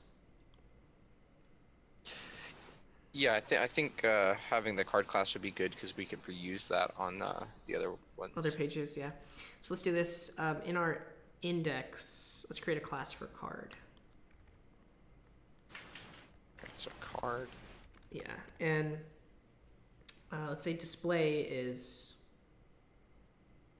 like, do we want it to be inline block? Yes, inline block. hey, Rodrigo, welcome to the stream. Uh, display inline block. Um, do we want to give it like a an outline? The black outline. Yeah, j- just just to at least illustrate. I I mean I was kind of playing around with um gradients before where we have like white at the top and there's actually like zero opacity on the bottom. of the like the background itself. Uh yeah, so basically it would like start from white and completely blend into like whatever the background image or color is. Um Hmm. but I think for for now like just to practice with it we can just do like a border. Um, yes, but let's actually do. Uh, oh, oh, just sorry, sorry, don't touch my mouse. Okay. um, we almost closed my streaming software. That would not have been good. Okay. Um, let's do outline. So outline is an actual CSS property we can specify instead of border, and I believe um, it doesn't add like width or height to the element, which is good. Uh, let's do uh, one pixel solid dark. I think yeah, we could do solid dark. I think it defaults on black. Okay, but if we change our dark color later, um, we get, well, we haven't added it to it. So inline block, outline is that. So now that we have this card class, let's give each one of these divs a class of card. I was kind of thinking uh like our headers are like let me help inside that little thing. That Mhm. little uh Inside the card, you mean? Well, can you pull up the? Uh, Uh, the the this. yeah. Oh, that's So, what like, you wanted. yeah, we can kind of either have it below or even have like a mini, um, kind of like the same way we have the header, like almost like a little header that is on top of the card. Yeah, but what I'm thinking is okay. So if we look at some of our other of your other mock-ups, um, are we using that card really anywhere else? I, not necessarily. I mean, we could, we could though. I mean, there's nothing stopping us to from deviating from the mock-up. Right. Um, uh, but because because what I'm thinking is like this isn't necessarily part of the card. It's just like um, a header that's on top of the card. Right. Yeah, I think that would make more sense. And then like within our card, we'll have like a nice uh, icon, Okay. and then maybe like when you hover over it, like the icon kind of expands a little bit or something. Yeah. Okay. Um Just trying to think. So won't necessarily have this as a class of card, but like we'll have divs. But then inside of it we'll have a div that has a class of card. And inside of here there's gonna be um, An icon. an icon or an image for it. Um, for now, Just put like a little pound sign or star or something. do an emoji. Pencil for signing up. Cool. Yes, so sign up, donate Maybe it would make more sense to use emojis for the for these. instead of icons. Yeah. um, okay, so we'll do like money flying away. And um, I think there's a chart. Stats. Cool. Yes. Yeah, that's, that's nice. Um, and so each of these divs, we do want those to be side by side. So uh, we could say, let's do this. We'll say link cards um, will be display flex. Okay. So let's do that in our landing page. So we have uh, link cards. This will be display flex. Flex direction is row. Uh, yeah, but you can leave that off because that's default. So let's see what we get just by adding that. Boom. That's pretty freaking awesome. Um, and then we can do um, uh, justify content space around. Is this the one that we talked about last time? Yeah, space Like around. Yeah, this, this space around well. versus uh, space between. Um, I guess the only thing here is we need to make sure that it has a width to it. Uh, take a quick stretch.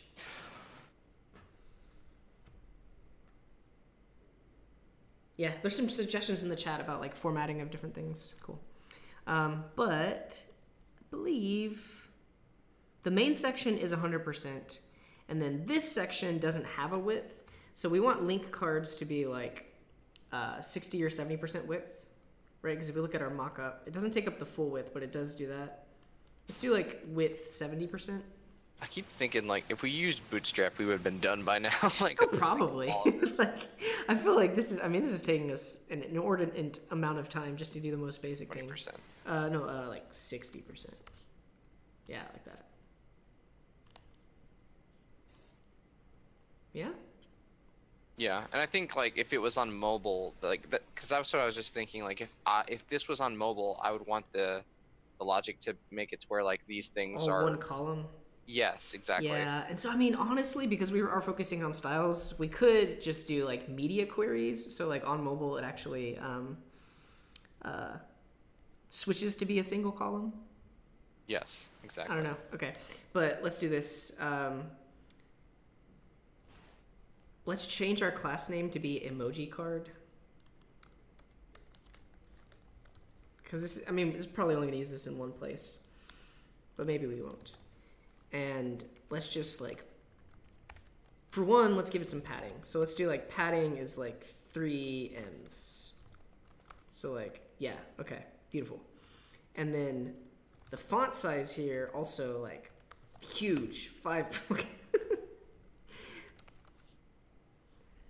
yeah. Might be a little too much. A little less padding. What do you think, Tony? Should there there should be spaces between these boxes? Yeah, there though, should right? be spaces between, but I like uh, I like the size there. Okay. So, um, link cards. This is is this the one that has widths? Yes, this is width sixty percent, and then each of the divs. Actually, we didn't style the divs directly. Um, we could give the divs a little bit of uh, margin, actually.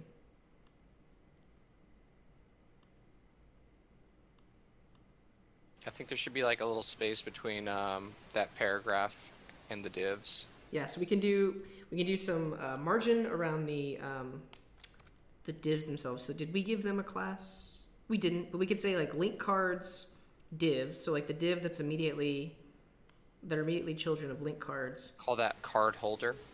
Um, sure. Or card container. Yeah, yeah. Then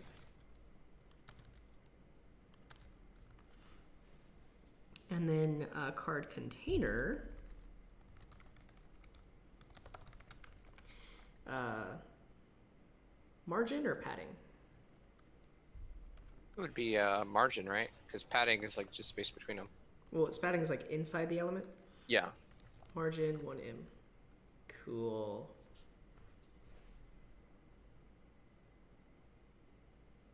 Yeah, it looks good. Yeah, and so uh, young young galaxy is mentioning justify content space between on the parent. I think we have that. So our, our parent is, um, oh, instead of space around, space between. That would stretch them completely out. Oof, it ge- it goes uh, not centered though.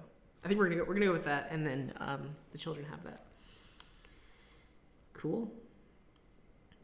This this is decent, Tony. Um, Yeah, I, I, I would say like uh, it shouldn't be hard to just like have some logic to like say like if this if the screen size like enters like a certain size, then it just like starts making those guys turn into uh, single columns. single column. Uh, let's let's do that. I mean, why not? Like, um, before we build other pages, let's make this thing like look good on mobile too, because we need to save the emojis no matter where we are: desktop, mobile, laptop, um, tablet.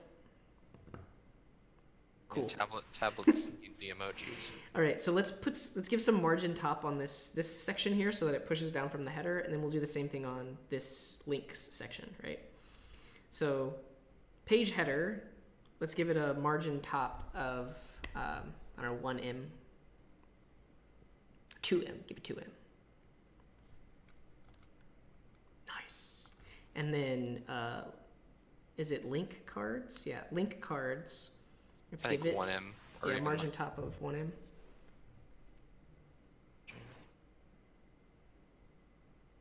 M. Okay. Okay. Decent. Um, do we want to go ahead and grab a, a, a background image? Yeah, yeah, we could use. Yeah, I think that'd be Let's perfect. do that. Use one Um, of these, uh, like, kind of forest landscape looking.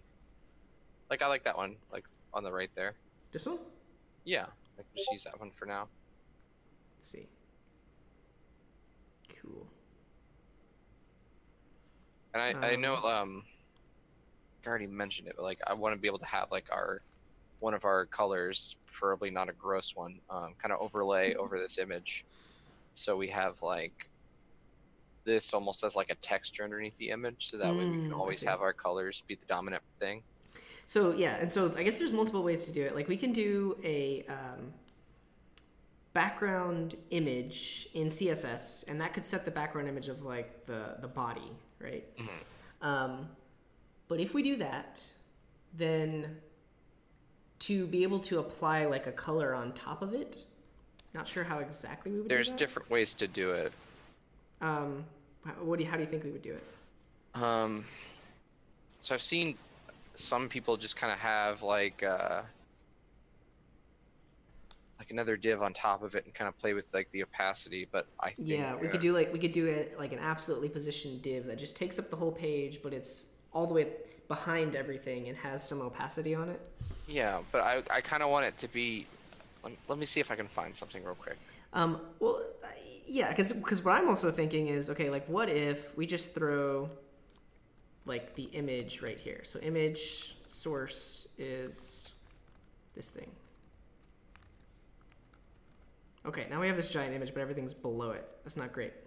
But um, if we give this a class of like bg image, then we could um, put it behind everything. So background image has um, position absolute, oh, not that, absolute, top zero, left zero. But now everything else is below it. Um, so it could have like a z index of like negative one. What will that do? Yes, now everything is on top of it. Um, so that's great. And then give it like a width of 100% and height of auto, because that way it automatically resizes. I guess the only thing is um, the smaller it is, then we don't see it. Right. But, but by doing this, we could actually create a div with like a very similar style, and that div would then have opacity on it, um, so we could actually like see the text on top of it. Mm-hmm. Um, I'm trying to think of like I I've seen like different ways of doing it. I'm trying to think like what even. I how know th- we- there's there's a cool CSS uh, tricks on uh, full screen background image, full yeah perfect full page background image. You could do it with CSS. Um,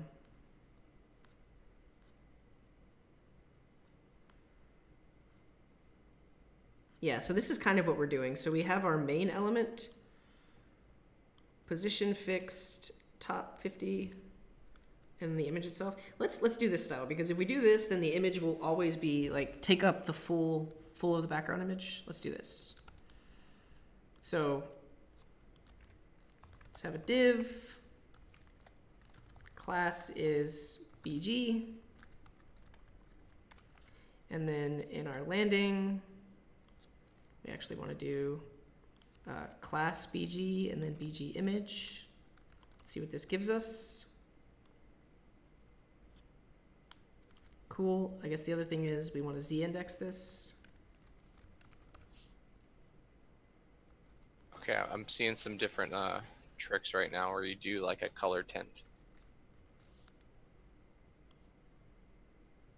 Oh, I'm not even looking at the image. I'm looking at this. Okay. but now it's it's full screen and it's background. Okay.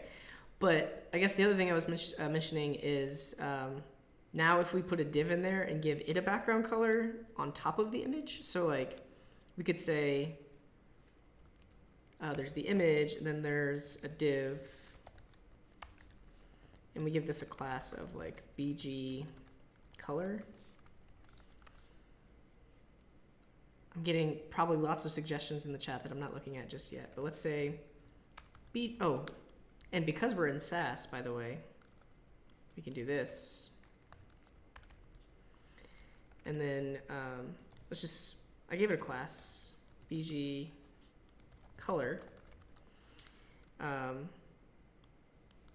again, this has all of the same attributes, but in this case, the background color could be like RGBA zero zero zero, which makes it black, and then like 0.5% opacity. Yes. Right, So I, I'm gonna send you a link on the. I think this will help us for blending. But what I've just done was um, this. So, do you see that, Tony? Yes, I li- I like it, but it's it's sort of it's we can make it we can make it better. We definitely could. Yeah, but what, yeah, but basically what I've done is the image is there and then there's a color div on top of it that has some transparency. I mean, actually we could just do like background color is our do we have a light variable? I think we do. Yeah. But then opacity is uh 0.5. Yeah.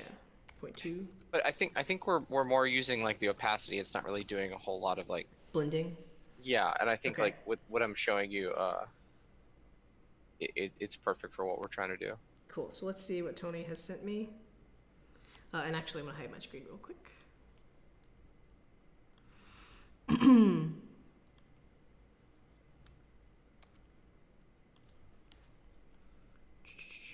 okay.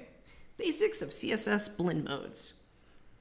Interesting. Well, see, okay. Here's here's the thing though, because um, I'm using this style of like elements instead of using background image technically i guess it could work i could give uh, the div a background image with multiply I, I think we don't have to necessarily even think about background image. This is just using like uh the C like the blend mode, which I did, didn't know about. okay so do you like multiply or we're just gonna play, play Yeah, around multiply is different one? perfect because like Okay. for example, like in Photoshop or something, when you're multiplying, like that color is like it, it's almost like the dark colors of your image are being superimposed onto the new color. So basically, like I, I guess the best way to think about it is like in the example image, we we want the background image to be red, and it's almost like all of our light colors are suddenly turned to red. Mm. So it's more of um, a way of actually having this color take over. okay So like this is like kind of is is a better way of using uh, color than say like using opacity because we have like a true representation of the color we're using rather than like trying to mess around with it. let's see if this works. So what i'm trying to do is basically we we have a div inside this bg class and then i created this div and gave it a class image. And now image we're going to make the url be this and have the multiply on there. Whoa it, it's it's, it's kind of like tiling. Right. Uh, oh, oh, that's true. Uh, so we actually have to do background image color, uh, cover.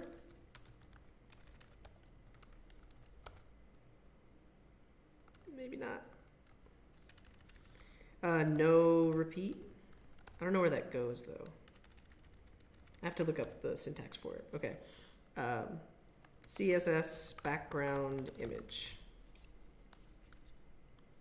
Well, not that. Let's get the CSS tricks. Gradients, background images, uh, bottom, center, no repeat. I think we want something like center, Try try try doing background size and putting cover. um, as a separate property. Yeah, so like uh, for our background image, so background size, cover, and then background position, we'll say center. Yeah, I think there's a way to specify it on background image as kind of like a shorthand, but hopefully that does it. So let's see what we get. Yes, in a way, I think it's working. Okay, so we don't want to back. We don't want to multiply it with red. We want to multiply it with like light. No, no, no, we like want that? it to be, uh, yeah, yeah, yeah. Then I guess we could change all of our other color, and our font stuff to like white or something. Maybe Hmm. add like a tiny subtle drop shadow in case like the image would be really light. Okay, let's see. So, in our landing SCSS, um, everything inside of main should have a font color of white, right? Right. So color light. Or light, yeah. Okay. Now we can't see the outlines of the cards. Should the cards be outlined in white? Sure. Yeah, I mean, I think, uh, yeah, why not? Let's see. Um, we actually defined that in our index, though. What color are we filtering over the, uh, I just did. I did light. what color? I think that's supposed to be like white right now. Let's try using like the dark color and see if it actually works. Dark. Yes. Uh, try, Green. yeah. Oh wait, it's not a variable. Green. Interesting. I- yeah, I think it looks kind of weird. Um, let's If- try a, If a get rid background of, image with more than one color because this thing is kind of mostly green. I think it'd be right. Okay. something with the sky. So Let's try. I like This- that waterfall. this one Or doesn't have much sky. Let's search for rainforest sky.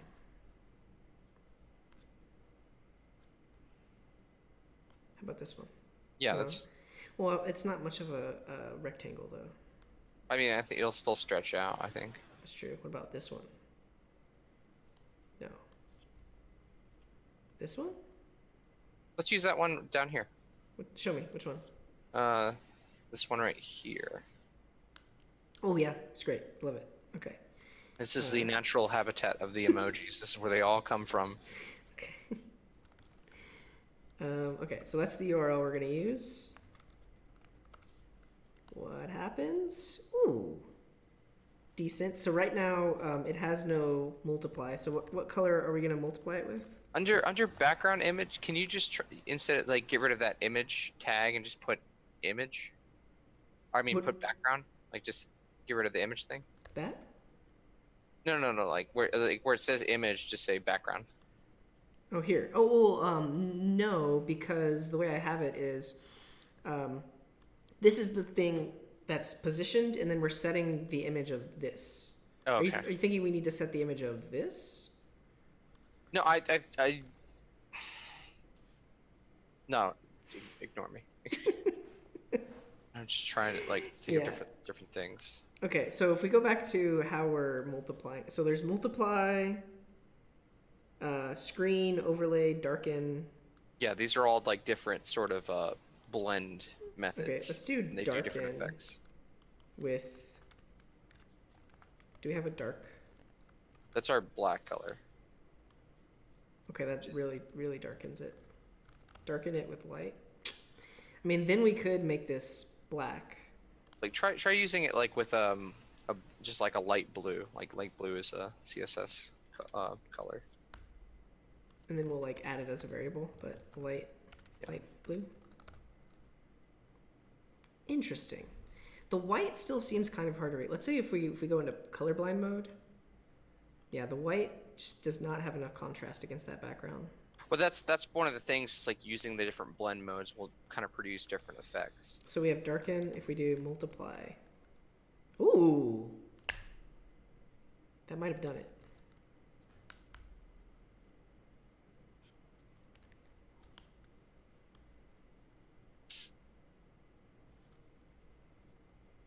I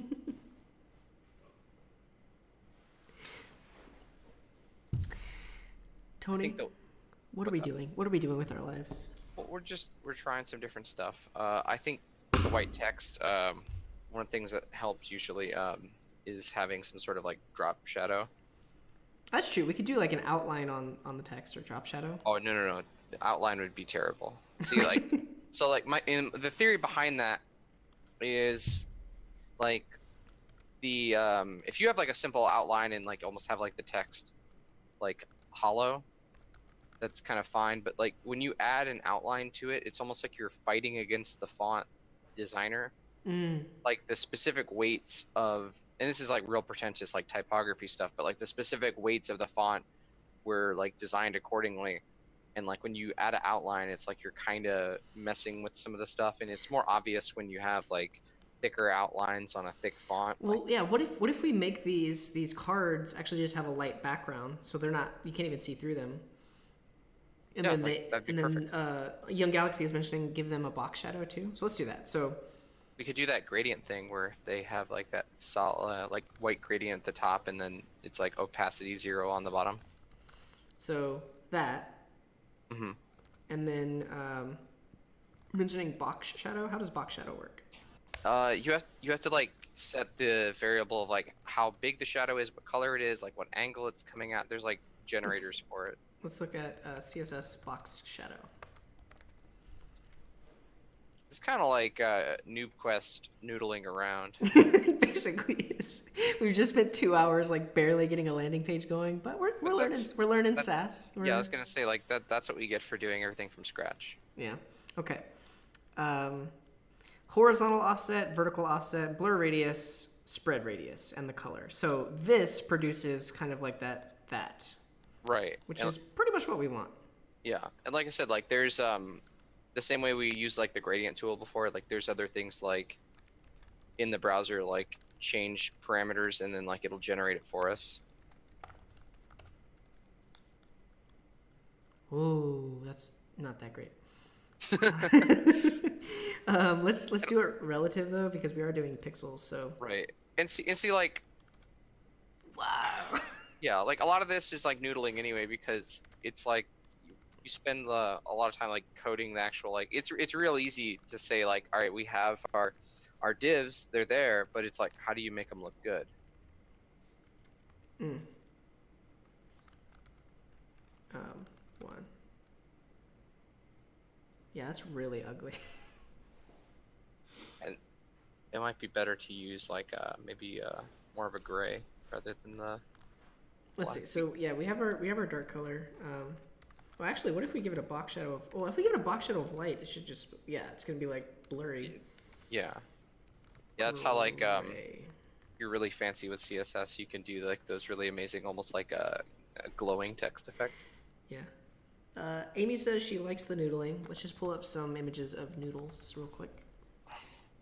This is what we're doing today. This is- This I- is you know what? I- Noob I'm Quest gonna- noodles.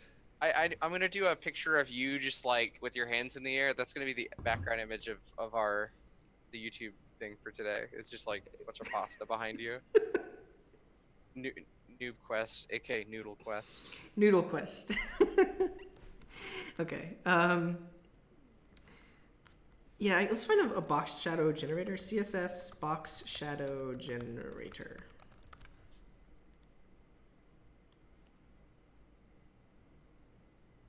Here we go. yeah and you can even change the angle it's beautiful Oh, yes. Uh, no thanks. Uh, no, I- let's go. This makes sense. Okay, so try, like, try, try it, like top down like the 90 degree boom. i guess not 90 degree like make that white arrow all the way up actually no you're right you're right you're right So on top, no i i, I was wrong i was wrong 90. 90. There you go. Okay. Distance. Ooh. uh keep the distance kind of tight like right there. very subtle Ye- maybe five Mhm. Blur it's like a tiny Oh, see, the thing is, like, the more the blur is, like, the more subtle it is, which I actually do like. but it, it's, it starts to spread it out like in a wider thing i think about there about there yeah, let's do like 15. Yeah. and then you can kind of see like where you want the uh, opacity i would say probably about Half. maybe like 0.6 just like a little bit more Okay. Optional settings. Spread. Wow. no, no spread. Okay, that's very subtle, but I like it. Let's try it. This is kind of cool too because like like if you're say like you're doing the mock-up like i was doing in photoshop or something you can take a lot of these things that you do in photoshop and like find ways to convert them straight into the css so you are perfectly recreating Google Chrome just crashed. It did not like that, that box shadow generator. Uh, restore? Go away box shadow generator? Um, what have we done? Oh, there we go. okay, there's a box shadow on it now. It's very subtle. Very, very But subtle. Kind of gives it like a little bit more of a Yeah, what if to don't be put read. back? Yeah. Um, while we're here, let's just let's push this this text up a little bit because it's like it's miss it's mix, missing mixing with the card itself. Um. So I think like the what are these? These are card container H3. It should have a margin bottom of like 1em. Yes. maybe 0.8 m. Yeah, not as much. Or 0.5. Just wanted to lift up a little bit.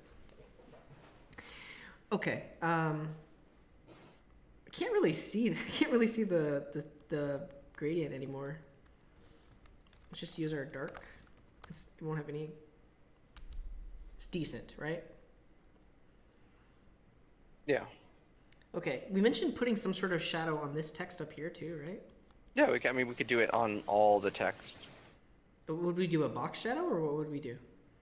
Yeah, you could do a box shadow. Is it going to do the same thing? Yeah, I think we'll see. Should we just The- put it on? the- Where should we put it? Just put it under the uh H ones? No, or um, we have right now the main section. yeah, try putting it under the main. See we'll see what on H2. happens. No, see. What is happening there? well, it's the box around the H, so it's box shadow. But we want like text shadow, if that's a thing, right? I Because think I think it is a sh- thing. um, because we actually want to give the the text itself like depth. CSS text shadow Yeah, it's the same thing. Text shadow generator. Okay, hopefully this doesn't crash the browser. Look, mom. It's no this. It's dude. It's the same thing. Okay, so just do the same thing, but do text shadow instead. Yeah, exit out of that text shadow generator before the computer dies. Um, not seeing anything. Is that is that a H two? This this is directly targeting that right here. Hmm. Let's go back to that text shadow. It might be a little bit different actually. So, degree ninety. Distance. Five pixel. Blur. Fifteen pixel. Opacity one. Yeah, it's very subtle. Lesser blur. Yeah, let's do like four. Where the blur is the third variable, four pixel blur. Hmm. I th- It should be should be doing it. Oh, text shadow is incorrect. Invalid property value. Oh, there is no there is no third one. This is this is too much. That's why. Ooh. That's- but I, yeah, That's decent, right? I like it. I mean, chat probably hates it, but you know No, every- actually, no. I like I, I. Let's put this on the entire app. So let's go Yeah. to index, body. Everything has text shadow. Boom. I would I would kind of soften it up a little bit, just like a Okay. tiny bit. Okay. Tiny bit. I feel, I And feel like everything in- we've done today increase, is just increase like the blur. it, yeah. it's like it- it's just like progressively gotten ugly. So that's decent. And then actually, let's let's make the background on um, on these cards have a little bit of opacity. I think. I'm telling you, dude, like if we do the opacity like white to like nothing, it'll be great. Like a gradient. Yeah, like a gradient, like a gradient from like the white to the top. Oh, but I don't want the text to have. Here's what I want. I want um, RGBA for the background. Uh, what is our light variable? It's E. Wait, what is E in how convert zero E? No, convert E in hexadecimal to uh, bytes. RGB. Yeah. Oh God, Let's do EE to RGB. it's getting yeah, it's getting kind of weird when you combine like hex, hex code with RGB. Like I don't like to mix the two. 238. Okay, 238, 238, 238. And we want uh, that. Ooh.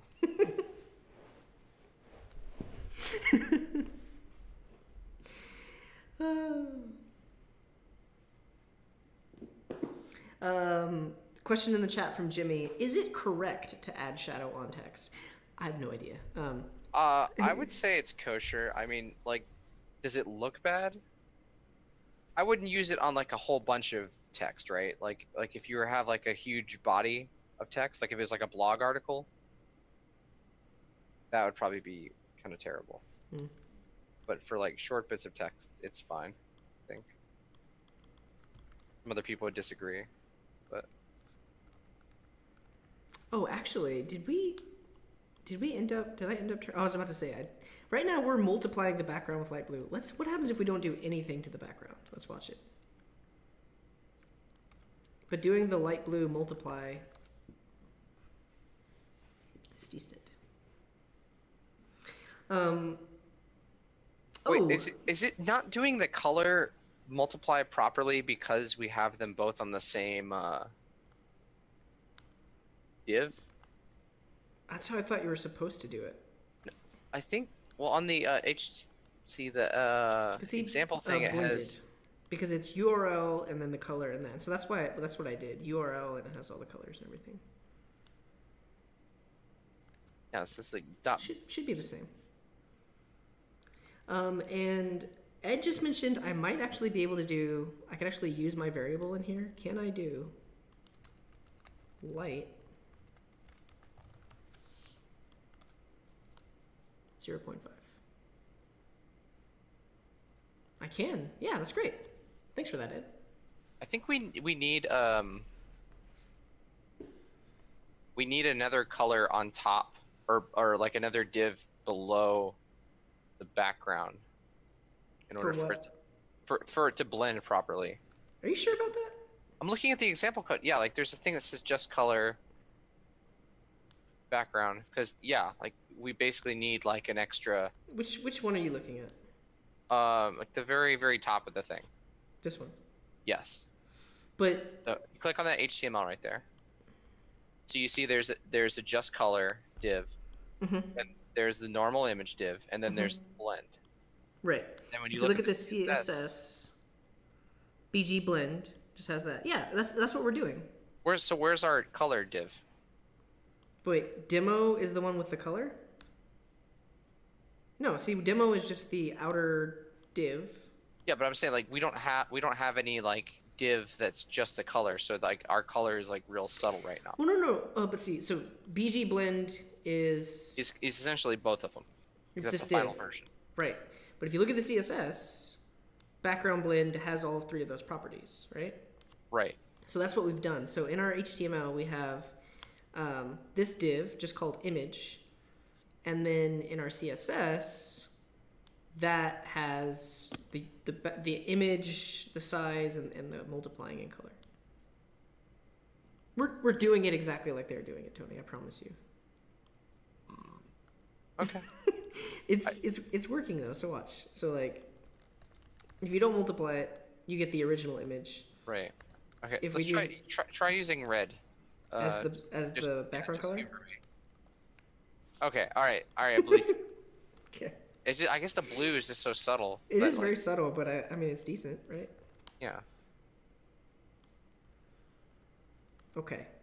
Um, one thing I want to do is give these link cards a margin bottom because if I go full screen like this, you can't scroll past them.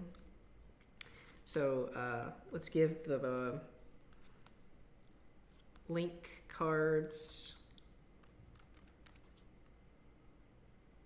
I guess we could combine it. I'll just do it separate. So margin bottom, 1em. It should allow us to scroll past. Or not? Um,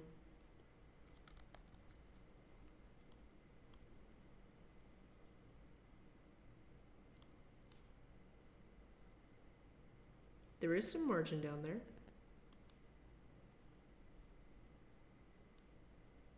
Oh, wow. So technically that's there, but then each individual card, because it has margin, is being pushed down.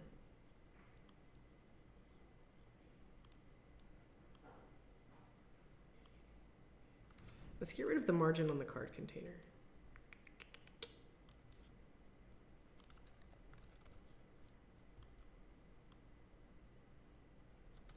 Hmm.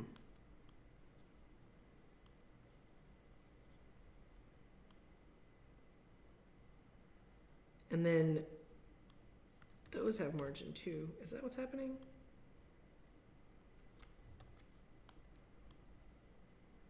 We're gonna go back and style this. I just want to figure out like why does the the margin of the link cards, like the margin bottom, doesn't exactly get to, get applied.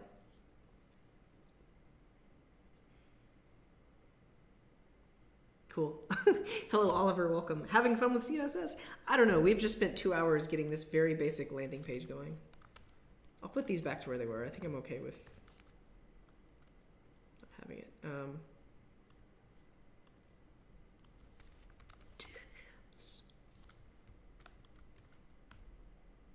it's still not working. Oh well. Are you still with me, Tony? I'm with you. I. I don't know how I feel anymore. Cool. Uh, Rodrigo is Rodrigo is mentioning uh, you can gain speed dynamically by dynamically changing the CSS inside of Chrome and, and Live Preview Variant. Yes, but at the same time, um, I would still have to go back to my editor and uh, change it. So I I do prefer to do that because we do have auto refresh on, anyways. Okay, we have a landing page. Um, what time is it? It's 2 p.m. We've been streaming for. Wait, no, it's not 2 p.m. It's 2 p.m. in Denver. It's 4 p.m. where I am. Can can we add that uh, drop shadow to the HR? Um, He's sure. sitting he's sitting there kind of naked. Sure, Tony. Uh, how much longer did you want to go? Um, I don't know. I think we should at least maybe get one more page. But yeah, we have been streaming for two and a half hours. Um, box shadow on the HR. Boom. Try text shadow. Or It's does there. it You don't, you don't see it? It's there. Yeah, yeah, I know, but I'm saying like you said box shadow. Would it would it be different if it was text shadow? I think it wouldn't show up if it was text shadow. See? Oh, you're right. You're right. Mm-hmm. Weird. Um, okay, let's do this though. Um, I'm gonna deploy what I have because I want to get that domain going. So I'm gonna deploy this with now. I do need to update. Would you like to explain what now is? Oh sure, yeah. So now is a tool for deployment. Thanks, Tony. Appreciate that. Um, Static site generator. well, a static site deployment, not a not a generator. Um, Right. It is uh, they, they allow you to deploy backend apps and front end apps but they do uh, support um, uh, static deployments. So like static websites. You install this tool and then inside the directory that you want to deploy you just type now and it'll automatically deploy it. And every time you deploy you get a brand new url um, it's really great for um, oh no. It's building oh okay this might not be good. Wait, because it builds like on a generic. Uh, well, here's the thing: because it's all the package JSON, it's not deploying this as like a static site. It thinks it's well, technically, what it can do is it can build it and then uh, well, it can run it and then try to build it in the cloud. Let's see what happened though. It it did generate a URL. It works. Okay, cool. I'm okay with that. but at the same time,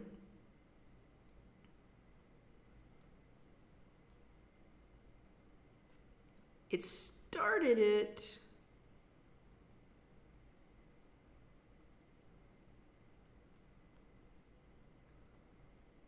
I'm skeptical. Uh, amy says this is looking good. I appreciate it. I think it it could definitely use some work but we we did a lot today. We learned a little bit of sass. We um, laid things out.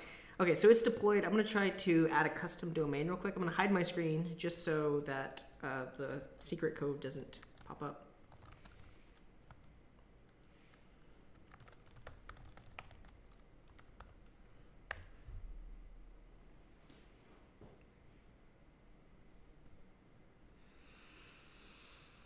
Hmm.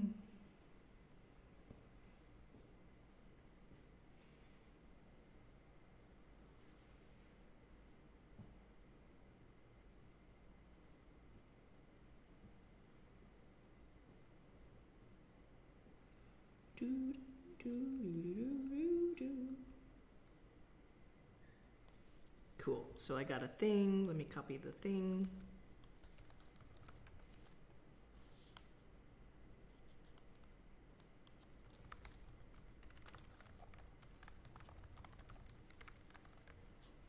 I can't I can't hear you uh, right now, Tony.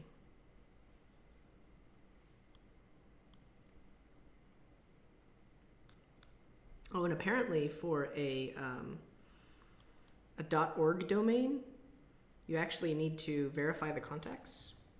To I mean, we are officially the Save the Emojis organization, but okay.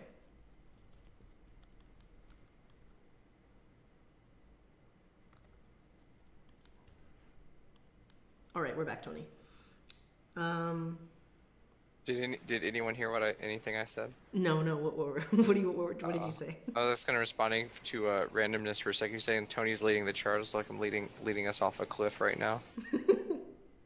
Yeah, pretty soon though, Tony. You're gonna yeah, you're gonna be teaching me. That's what Ed is saying. Well, I, I, Um, I know a few like design things, but like when it comes to a lot of these. you have a degree in design. I think you know a bit more than a few design things. Right? Or not? I Uh, don't know. a couple. I, I, Uh, know, yeah, I, and- I know where to find good design. Okay. Save the emojis.org. I'm gonna push this code up to GitHub too. Um, I do need to git ignore some things. So if I Um, go to save the savetheemojis.org, It's not working just yet. I had to uh, verify the domain, and then in like 20, 30 minutes, I can add the domain again, and it should work. Okay, so everybody should be able to go today and see this website in the wild on their browsers. At savetheemojis.org, yeah. What have we done? Ta da! We did it. Slowly.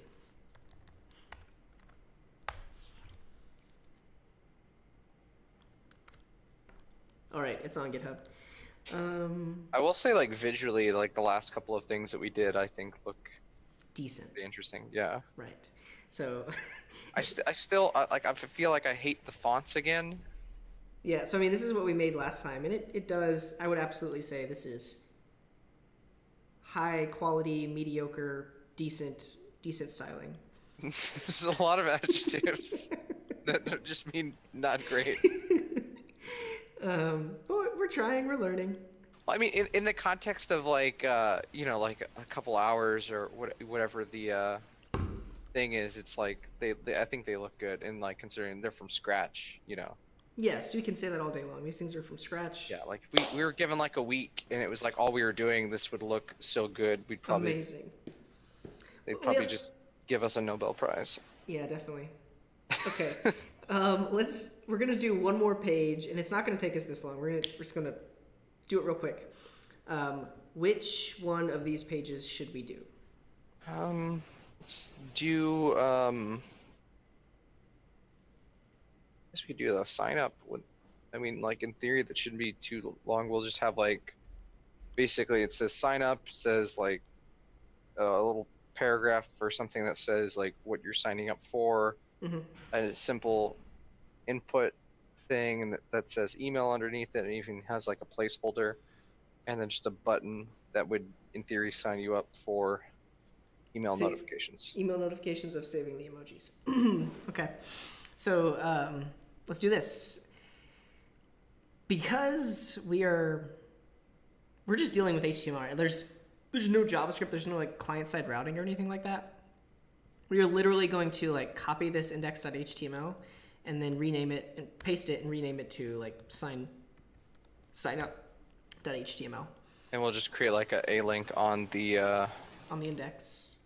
on the index of like right where it says uh, sign up. Yeah, so like I think um, well we probably want when they click the card they want us they want it we want it to go there too. Yeah, could we put it on like the whole div? We we could. I don't know if this is how kosher this is, Yeah. but we could do something like this. So this href goes to sign up.html. Let's see what happens. We're gonna get like some weird. Oh, this is the deployed. Oh, like, can we get like a cursor that's a pointer? Yes, we could absolutely. Well, it'll, it should do that automatically. Um. Oh yeah. One two seven zero eighty eighty. Yeah, so we can get rid of this default styling, but when Oh, we click gee. it, it goes to sign up. But yes, Which is the same page right now. yeah. Um. So let's do card. We'll we'll style. We'll say card container anchor tag. And this is going to be. Do we have card container? No, card container is an index. Yeah. So any anchor tag inside of here, the color is light. And the text decoration is none. So it shouldn't be underlined or bolded or anything like that. Cool. So it's now when still you a nice pointer. Yeah. yeah, when you hover over it, you see that. You click it, you go to the sign up page. Right now it's exactly the same because we copied and pasted. Rodrigo is saying log in and donate maybe 10 minutes if they are good. Everything on Noob Quest is great, Wait, except what are we today. saying? Oh, stats would take three hours. Log in and donate would take ten minutes. You're right. You know what? Let's let's. I mean, I don't, probably don't want to go more than another thirty minutes, but I think we can get some stuff done. I think we can at least make don like if we make a donate page, like it just links to the Patreon, and then I think we can come back Okay. and uh, we'll we could do it like off off the stream, but like find like a, a wildlife uh, foundation to link to as well. Okay. Um, here's the thing, though. We technically want like this background image to be. Well, are we going to put a different background image on each page? I think I think that would that would be good because it kind of shows like oh I'm on a different page. Okay, so here's what we need to do. So in in sign up, um, we want the header, we want the main, but now like everything in the main goes away, and so now the sign up page should just be totally empty. Um, let's also make it so like the header links to the home page. Um, yeah, we're gonna have to do the same thing. So like, anch- anchor tag.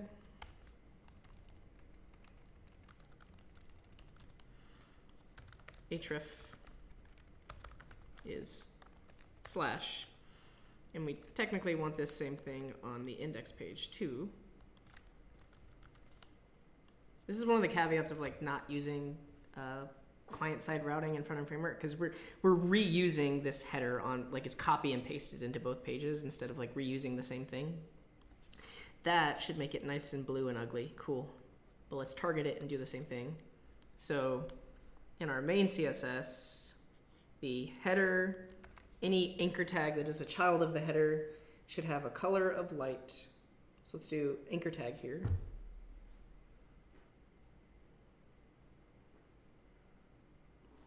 Um, color light and uh, text decoration is none. Cool. Should do it cool and then we click there it goes to the home page we click here it goes to the sign up page rock and roll um, oliver is mentioning if we remove 100 view height from the body it should fix the issue we were having here. Ooh, look at that. Like it. So if we're here, it actually does scroll below it.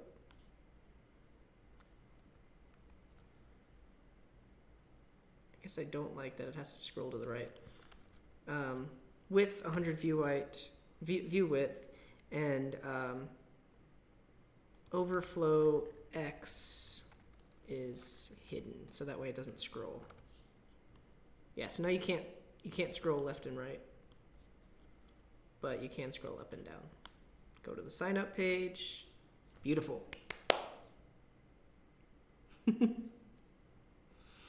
okay. Um, that's great. We've got our sign up page.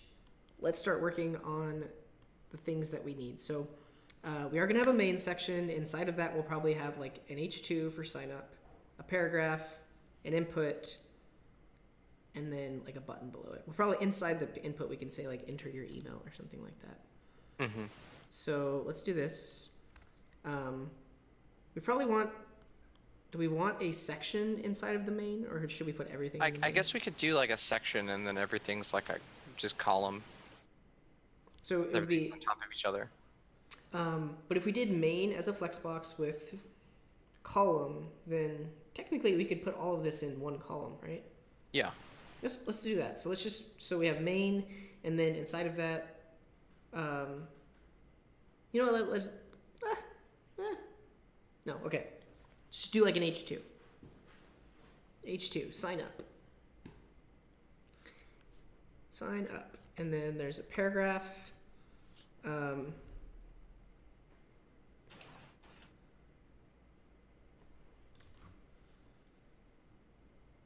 What are we? What are we? What are we saying exactly to to sign up, I don't know. So sign uh, up? sign up to be notified be notified. Of ways you can Of help save the, the emoji. You can help save the emojis. Um, we'll never share your email with anyone else. We'll never share your email with anyone else. And then put the devil emoji. Okay. Devil. Smiling devil. um, but you can be sure that you will receive lots of emojis in your inbox.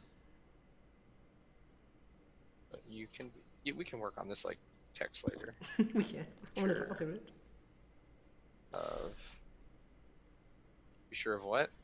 What Uh, but you can be sure you will receive yeah, yeah. You said it. lots of emojis. Party. and and viruses.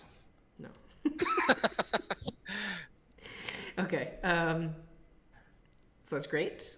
Is that's decent. Let's style this thing now. So now that we have, we don't want to bring in uh, landing anymore. We actually want to bring in. Um, we'll create a new one for sign up. Um, let's duplicate what we have for landing. And call this uh, sign up. I mean, I guess technically, technically, technically, we could reuse all of this, and the only thing that we change is the background image URL. Mm-hmm. Let's let's do that while we're here. So, in landing, technically, we want all of this to actually be in index. Boom. This goes into index. Okay. But the one thing that changes is in landing, um, dot .bg with the child of dot .image has a specific uh, URL.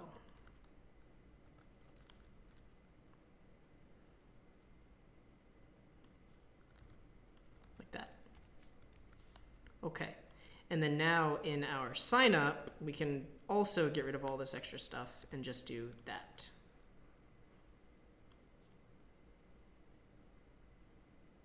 Why does it look like the text is black in the background? because I messed something up. um, so, did I do it right though? So, BG. We may need to bring in all of these things as well on the background image. So we have that. We have that. Have I broken it? No, the homepage looks good. Homepage is there. But sign up is broken. We might have a syn- if you go into sign up. Oh, uh, because I created this file, maybe we have to um, restart my my styles. It's not getting created. Mm-hmm. Mm-hmm. Um, let's get rid of all of the extra styles. So right now, this is sign up. And let's kill our task and restart it. Now, if we go to sign up, for whatever reason, it's not picking up um, sign-up.css.scss. Maybe it doesn't like the dash. Wait, do do you have to go back into the uh, package JSON thing and specify it? Uh, no, because what I did in the package JSON was told it anything oh, in this okay, directory okay. should show up in styles. No. Huh. So you have to. We don't have to do watch styles. Well, it shouldn't be watching styles. It should be watching SCSS.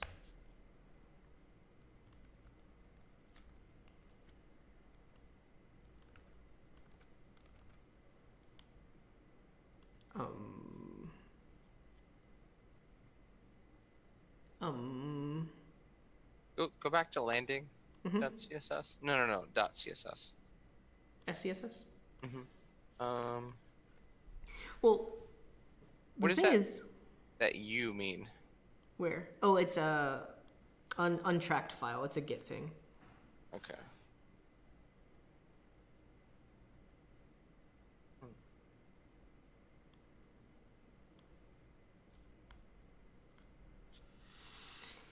Interesting. It should just pick, because before all we had to do was start it up and it automatically picked up uh, landing.scss. Try try just making a a file like without any, just call it uh call it stats because that's gonna be another one. Stats.scss. And we kind of want just this. So in theory, mm. it should have just immediately made a stats CSS. Yeah, so change detected. Oh no, that change detected comes from lite server.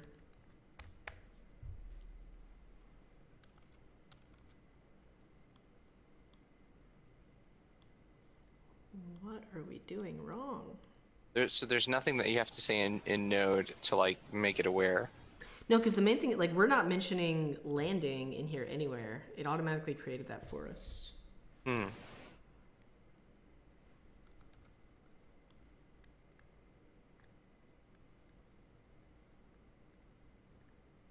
Like, I don't want to have to specify each individual thing. Right, it should be able to do it like dynamically or Um, suggestion from Robin, and hello, Robin, welcome. Uh, topic for next time: use utility-based CSS like Tailwind CSS instead of Sass crap.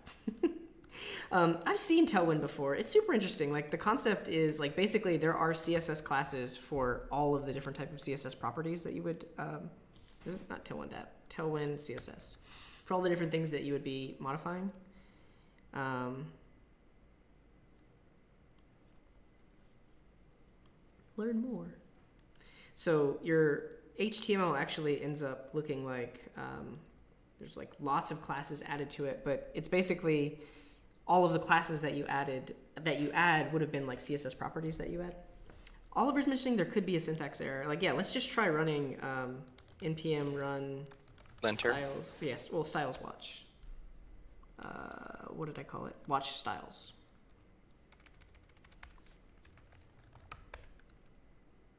It's not giving us an error.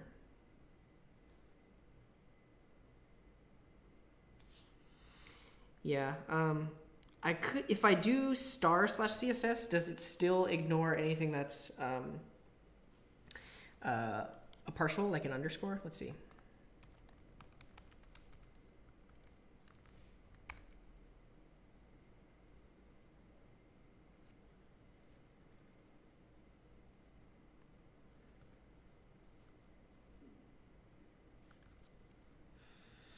Also, what's in index? So index SCSS has um, like our basic body and header style and like um, headers style. And then landing is just specific to the landing page. Sign up is going to be specific to the sign up page. And stats will be sp- specific to the stats page. Um,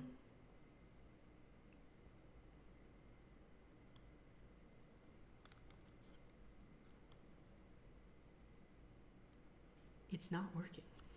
This, I mean, this is why it's taking us so long because we've had little issues like this. It's not, it's not just um, Noodling around. obligatory noodles, doodling around. I could totally go for some ramen. Yeah, me too. I'm gonna actually go get some later. I'm just waiting for someone in the chat to tell me. We, we've got smart people. We've got Robin. We've got Oliver. We've everyone else who's been providing suggestions tonight. Like, what the heck are we doing wrong? So, to to review, our package JSON has a a thing using um, uh, Node Sass that tells it to watch recursively the Sass folder and then anything inside of it. Um, actually, technically, what I had before was just this. So watch anything in the Sass folder and then output it to the styles folder. Um, however, when we do this, we only end up with, uh, and I guess we can see really quick, like if I modify landing.css, junk, color, green, save it, it saw it. Oh, you know what? It could be because it, we didn't modify it. So let's say sign up, we say junk, uh, color is green. No. Oh, yeah. Oh! Why? Why? Like when I first run it, it should just generate the file. Like why do I have to modify it? Like it did not exist in styles yet. That's stupid. You know what I mean? Like it could be because it's watch, like watch it for changes. I don't know. I don't like that. It could be just specifically a Node Sass thing. Coding is silly.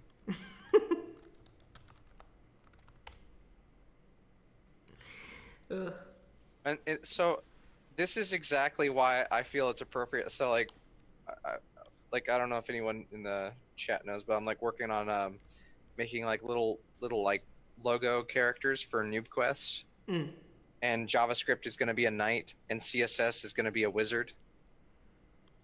And uh, it totally makes sense why CSS would be a wizard. You have to know the arcane and uh, specific things of the CSS lore to to be able to uh, uh, master it. My Okay, so- favorite, uh, like I think it's a, I think it was an old HTML thing, and it's like I don't think it exists anymore, but it was Blink. It's, I think it's still out there. There's Blink. There's Marquee. Yeah, you can still do it. There's like yeah, like these these like decrepit old things that are stuck around. Uh, okay. So, um,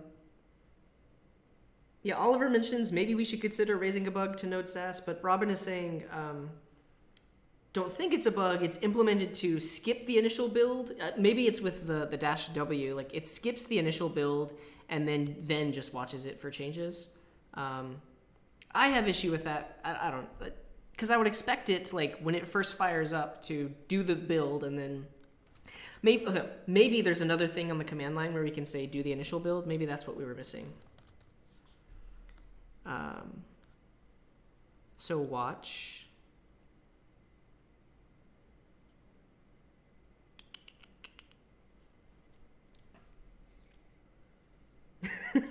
Oliver's mentioning the best thing is 10 marquees inside of each other.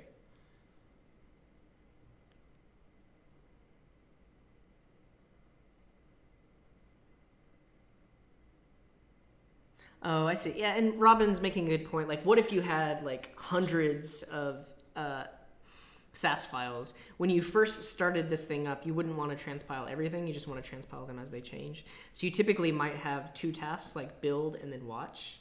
So, um, let's have a script just called styles.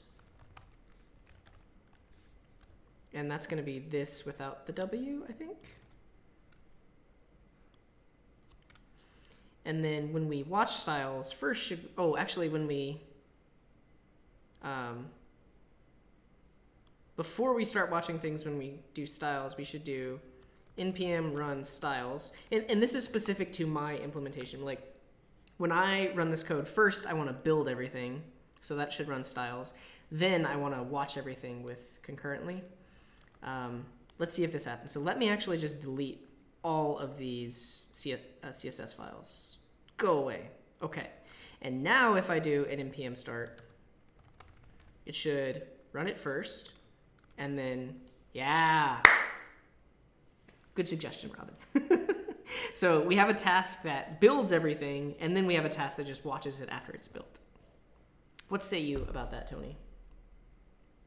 Are you still there, Tony? You- are you on Yeah, there? this some of this node stuff is like hurting my brain. It's more of like Linux stuff. It's like running commands before running other commands. Okay, we've we have officially wasted 30 minutes not getting anything done. Um, but we are on the sign up page now, and if we go to the sign up page, it looks decent. Cool. So one thing is we want our sign up to have like a max width of like 30, 40%. So it like smushes in, right? Um, so let's do that. Let's say, and we are in sign up SCSS. So the, the width here should be uh, 50%. I don't know, 60%? What do you think? Let's do, let's do uh, 60.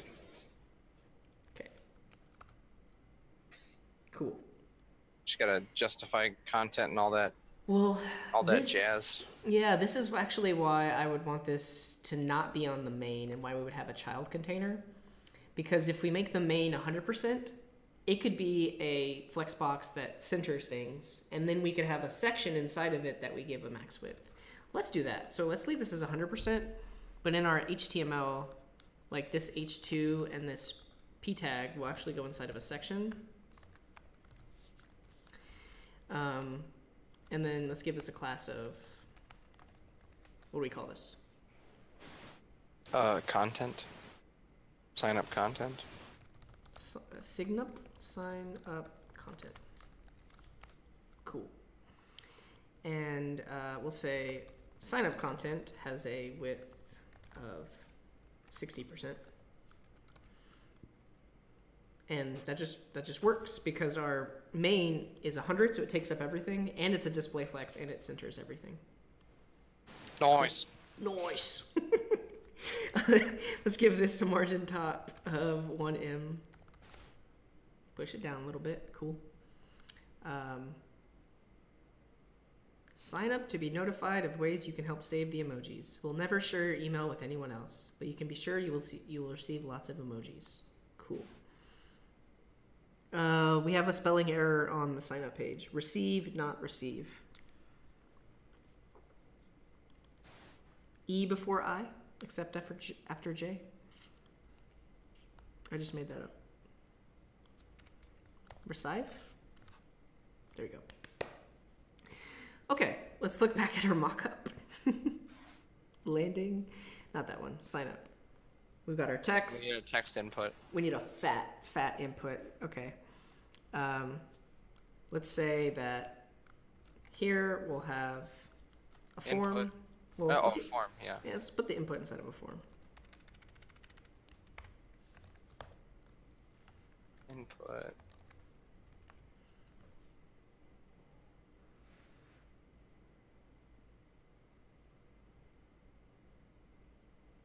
Okay. Um, and um, we'll have like a placeholder. Email. Oh yeah, enter Or- your email. Yeah. And the um, Class. class here, well not class. Um, we are we are gonna style it. Um, type type is email. And this is required. Let's just see what happens. Okay, tiny tiny little thing. Little baby. Um, so uh, Robin um, is mentioning, can I be super nitpicky and suggest something? Never ever styles based on tag name. Always provide classes because specific specificity is a PETA. Oh, pain in the pain in the, okay. yes. Um, no, I get totally what you're saying. Um, and the because but the idea is, well, that's that's that's that's just like your opinion, man. But I get what you're saying um, because to if you're styling things based specifically on their tag name, then um, you have to be sure that the specificity is correct to actually make this work. Uh, and in our case, it is. So I'm more of the opinion of like if you know how to target it and it's a unique enough target, then it's okay.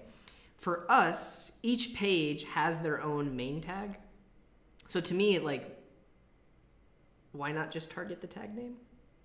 I don't know. It's one of those things. Hopefully, I didn't dissuade you and make you leave the stream, but it's it's all. maybe on larger on larger applications, like you want to, use class name. Yeah, there there are there are entire um, like like BEM is something uh, that I've read about but never actually like tried myself. CSS BEM, um, and it's literally just like a naming convention and way of styling your elements. Um, so like literally every single class name you create follows a convention of like the con- the container and like what's inside of it, um, and you can get very serious about your your CSS style naming. Um, like that that's like its own um sort of theory in and of itself like because you end up having like different like uh not really like i guess coding but like more just like stylistic choices you know but this is the coding garden where single commas are king commas are And- king. and uh, you can use css on html tags Yeah. Um, we'll, we'll have to have a manifesto and it, like the manifesto manifesto. Yeah, the Coding Garden Manifesto, and it's just it will not be questioned except when it's blatantly wrong, which we might not even have a manifesto.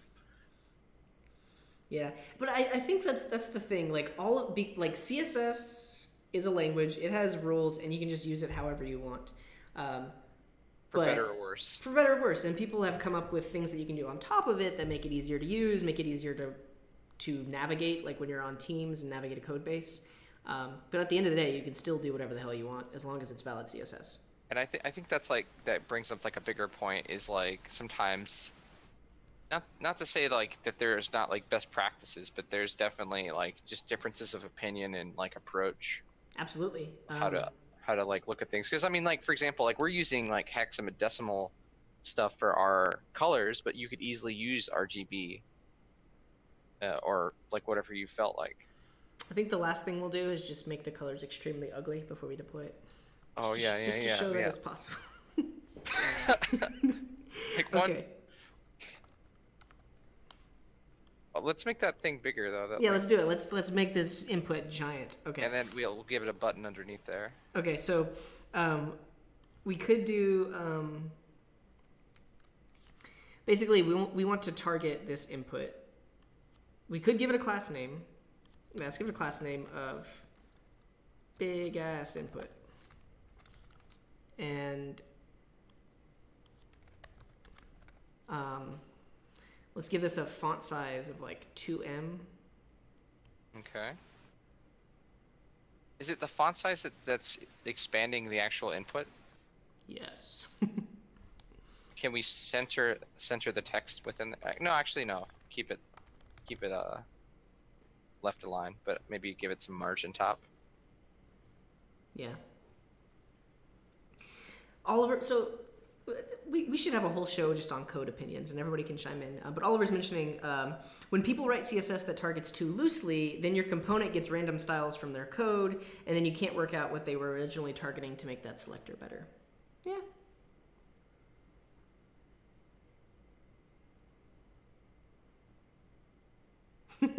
and that's the main thing like especially working on a team or like if you're if you're building something for someone else to use you absolutely want to be like very specific so that you're not interfering like you want to namespace things by like everything you style has like a specific two letter acronym in front of it so you're not interfering with class names that they might actually create. All of these are very very valid points. Would, would that be more like like style guide theory like like like let's say oh, we we developed like our own like almost like style guide manifesto for like save the emojis kind of thing. Mm. yeah. Um break timer. Stretch it out. Okay um let's give this thing some margin around it and then maybe some padding? I don't i don't know. Maybe like a tiny bit of padding. Like point 1M.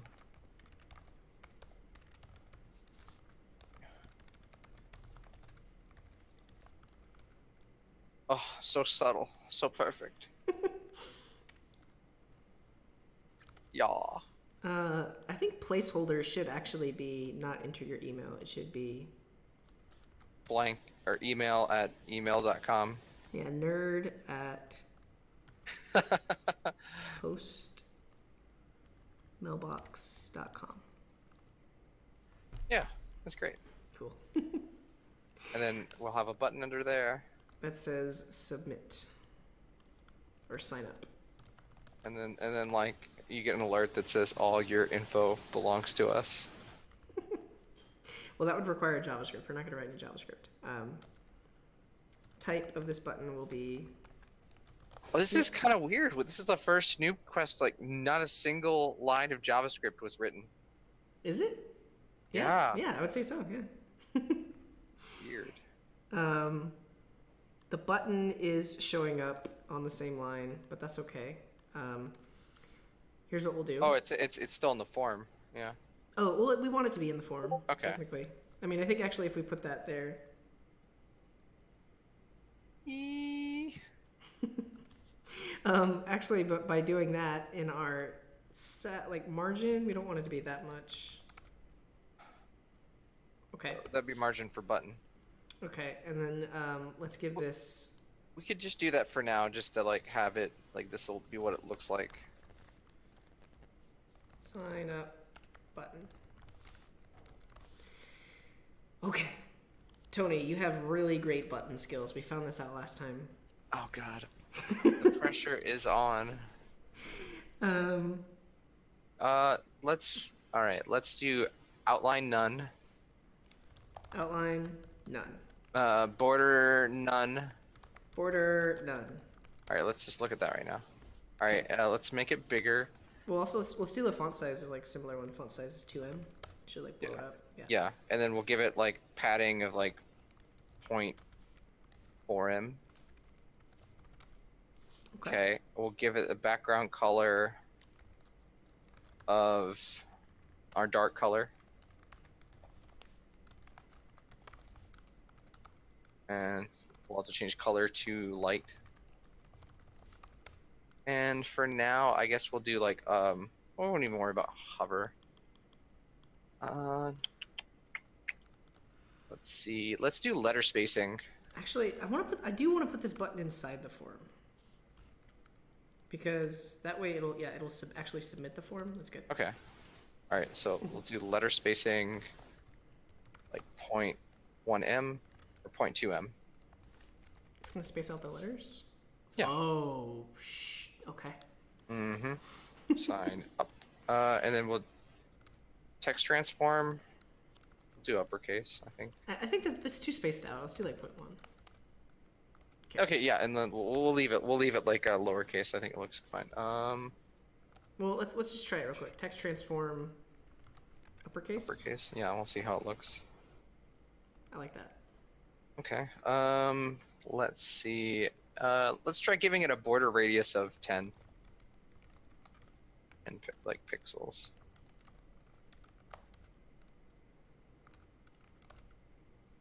Hmm. Subtle. Yeah, in the chat, um, Oliver's mentioning uh, they wonder if this emoji.com is available. You actually can't have emojis in domain names. Um, I've I've tried. Believe me, I've tried. okay, I think I mean I think this is a great page. So homepage, sign up, enter your email.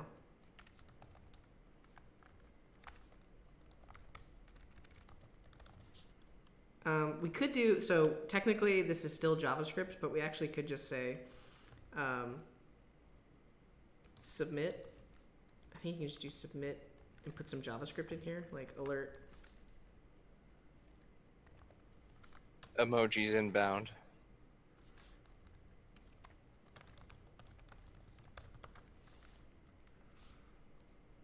Well, we, I, I think we could. Could we do a function? We need access. To, I think we get access to the event.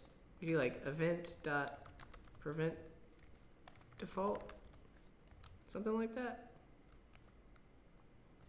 Is it on dash submit?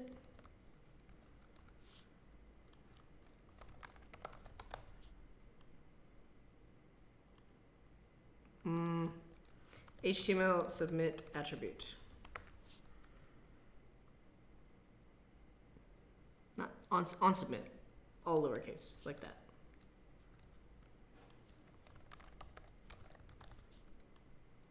Emojis inbound. Okay, cool. And then actually, so uh, yeah, we did say we weren't going to do any JavaScript, but we could actually do window.location.href equals slash, so it takes you home. Okay, wat at wat.com. Emojis inbound, and it takes you back to the homepage. Yeah, I think we give it some more work. We'll make it look nicer, but it's coming together. CSS from scratch. Oh, okay. Uh, Oliver is mentioning um, you can do. Um, they enabled Unicode domain names. I have seen there actually are, there are uh, top level domain names of, um, I think like uh, Chinese characters. uh, Robin says "wat" means what in their language. You're from Belgium, right? Wat. Let's go to Google. Translate. Wat.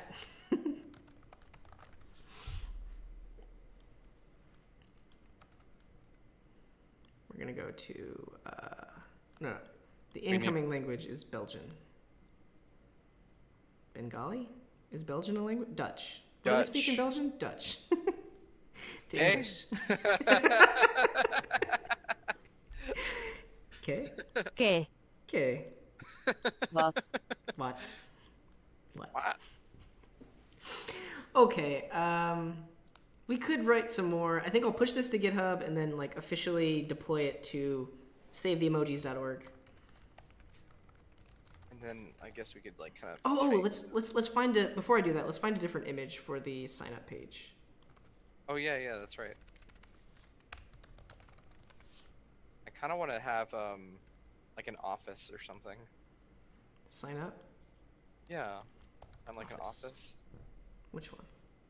Uh, I kind of like the just people just like sitting in a thing. Let's keep going. Just or, like type in computer, Office computer. or no, just computer. Like maybe there's like an image of like an old like computer. I kind of like uh just the Oh. hands on the desk. What about this one? This one? No, that one right there with the coffee. This one? No, no, no, up, up, up, This one? up to the left. This one? Yeah. Okay, why not? Um, so in our sign up Sass, the image goes here. And what do we get? Oh, Oh my goodness! Look at that professional looking. it's so professional. We can go to the homepage. We can sign up.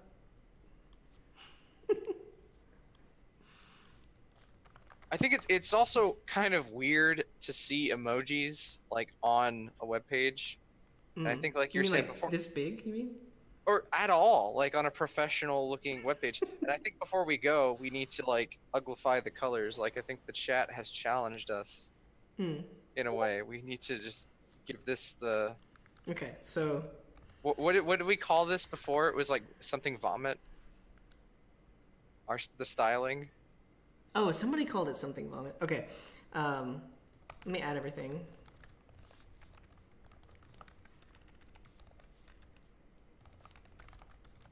Add sign up page. Push it up to GitHub. Deploy it.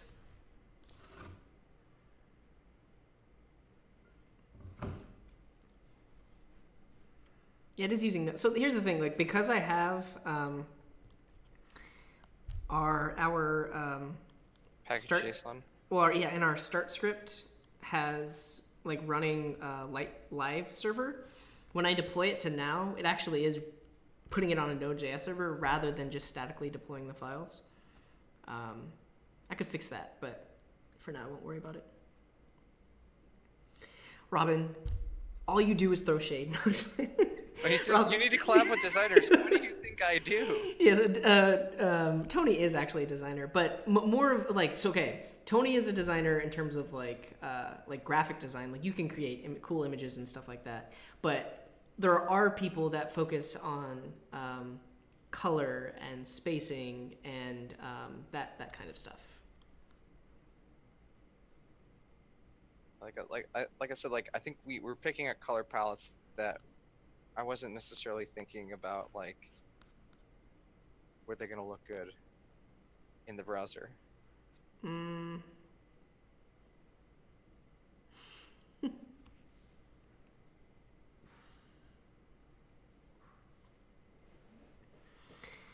this is failing to deploy. Um, let's see. Now deploy ignore file files. I could tell it to ignore the package JSON. Z now. We should have like in the share work thing, we should have like a a color palette challenge, like who can produce like the nicest color palette with uh, Adobe Kuler in the Discord. Wait, say again? Like um like we're we're trying to come up with like different color palettes and stuff. I think we should have like a a color palette challenge in the uh the Discord and we can like vote like at the end of the week who has the best color palette. Yeah. Um, Robin says, "I thought Tony worked in some hospital machinery of some sort. He does, but but before that, he went to art school to become a graphic designer. I, I I guess I guess my, my design sensibilities now that we're seeing them in action that explains why I work in the hospital. Yes, absolutely. No, I don't know. um, I mean, honestly, let's let's create a build script. Okay, we're gonna create a new folder. No, let's do this. Um, new file. We'll call this build.sh. This will um, uh, wait, shebang should run in a shell. We want to copy star dot. Well, first we want to uh, make a directory called um, dist. Before that, we're going to remove the directory called dist. Then we create a directory called dist. Then we copy all of the HTML files in here into the dist folder. Then we copy um, recursively the styles directory into not slash dist, just into dist. Um, and that should do it, I think. So, um, let's add the executable privilege to the build file and then run it.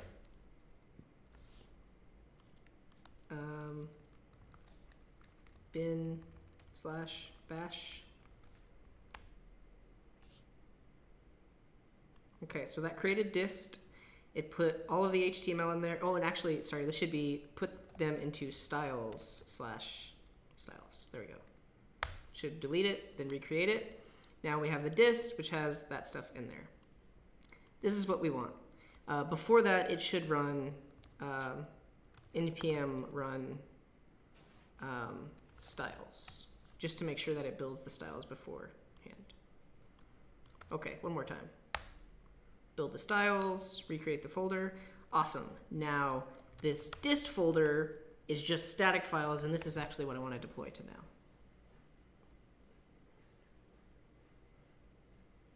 now. Okay, so, and saw how quick that was because it wasn't trying to like build anything. And now, moment of truth. Uh, save the emojis.org.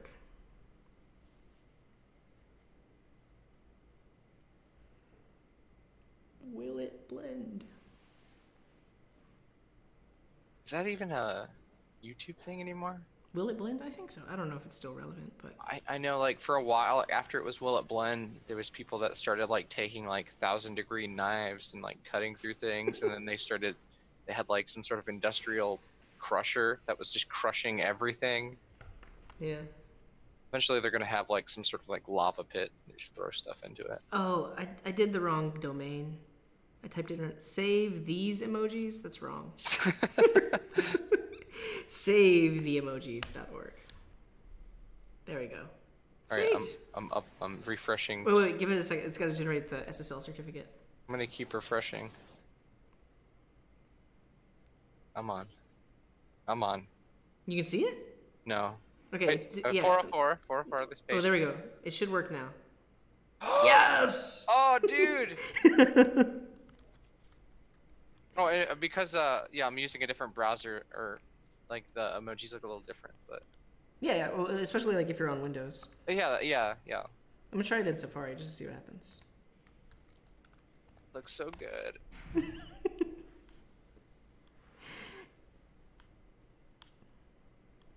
Cool. Mad, mad decent. Um, okay.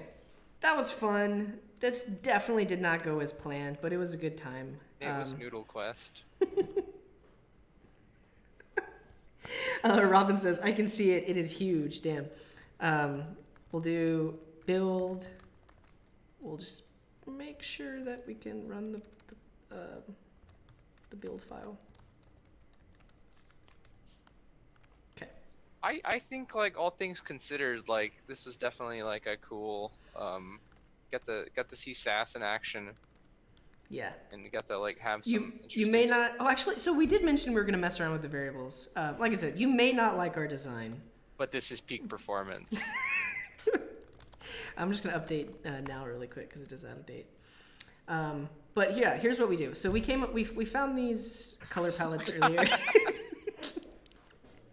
so before we go, um, let's take the um, variables. Okay, so we have our primary color. Which one should be our primary color? Are we? Where are we using the primary color?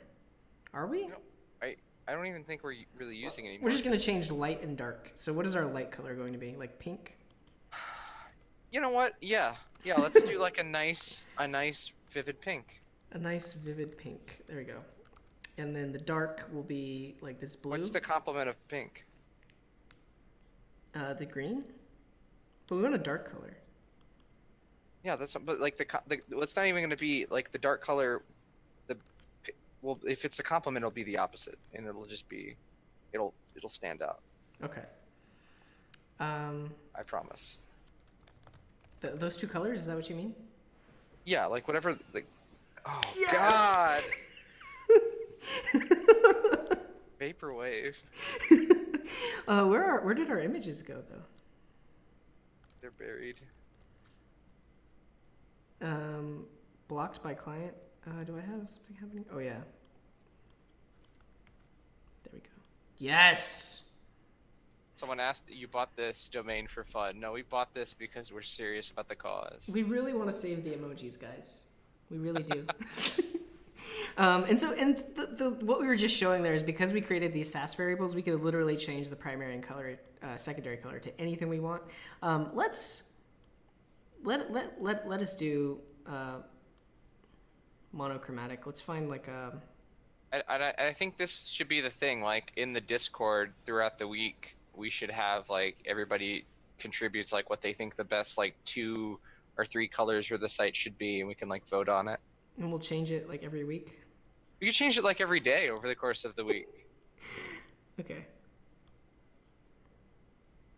Yeah, it's a real fun tool. I want to do. Let's do like a red and a yellow. McDonald's. So let's say our Our dark will be the red. Okay, dark is red, and the light will be this this nice. It's like nice cheese yellow, a nice American cheese right there. Uh, where are we at? Yes. So good. Oh, oh my, oh yes, it's like Soviet Union in here. Um. Okay, I can't believe there are still 24 people watching. You all are great. this was fun. Um, okay, I didn't deploy. So right now, if you're watching out there, please go to savetheemojis.org because every day, dozens of emojis are left forgotten and unused, and together, we can help them survive. And so that's what we're gonna do. We're actually gonna find like some statistics about like, I'm sure it's there of like what are the most used emojis, and like we'll have some sort of data visualization for, and that could be like a whole other thing of like we never really visualized data before, Yes, that'd be fun.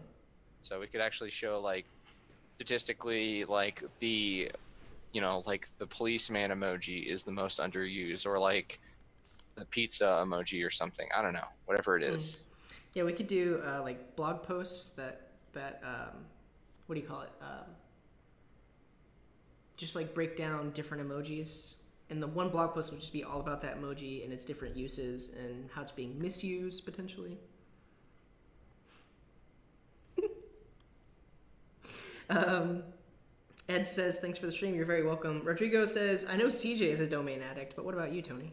Oh, I uh, I don't have. I only have like my own personal domain, and it's it's kind of been uh, like under construction for forever. But uh, I'd like to start just buying stupid domains and just log up the internet. So I'm using this colorblind tool. Our, our site looks decent. Like, like, I mean, we're using very simple colors, but no matter which uh, one you choose, it's pretty. Actually, no, I don't even need you to close the. I can change the window on my own com- computer and watch it change. Yeah. I, again, like I feel like I want to change the fonts now, but. I change. next time. I'm I don't I'm not going to push up these ugly colors, but it was just a demonstration of uh, Sass variables. There you go. Okay, that's it for today's stream. Um, this was noodling around with Tony and CJ. um, uh, but yeah, so but actually before we go, there is a question in the chat. Let me get rid of all this stuff. Um, Jimmy asks, can you explain uh, the config with concurrently? Sure. So if you look at our package JSON, we're using uh, this package called concurrently. It is a dev dependency, uh, but this is just pulled down from npm. It's a convenient way of running two different processes at the same time and in the same terminal window. So it accepts multiple parameters, and each of those it runs in parallel. So basically, what we're telling it is first, build all of the styles. So we have one task that takes all of our Sass and transpiles it, and then in in Bash, this uh, double ampersand says do this, and if this successfully completes, then do everything on the right hand side. And so this says concurrently run this task and this task. So basically, it's running uh, watch server, which is live server, and it's running watch our Sass for any changes at the same time. So anytime a Sass file uh, changes, it'll automatically be transpiled, and anytime any file changes, the browser will automatically refresh to show the latest changes. So it's a combination of all that. And then I made my own like custom build bash script that just takes all of the things that we care about, and this is what we actually deploy. I Uh, um, Yeah, what's up? I was gonna say I also I just looked up the uh, domain on my phone and it does not look bad. Oh, on phones? Yeah. Okay, what kind of phone do you have? Uh, I think it's like an iPhone something, five, Um, six. I am going to ignore client slash. Do you have an iPhone? Yeah, How I've long have you had an upgraded iPhone? for a while. Like I uh, I was using like my like some sort of BlackBerry type thing, and then the battery died, and I inherited an iPhone. Hmm.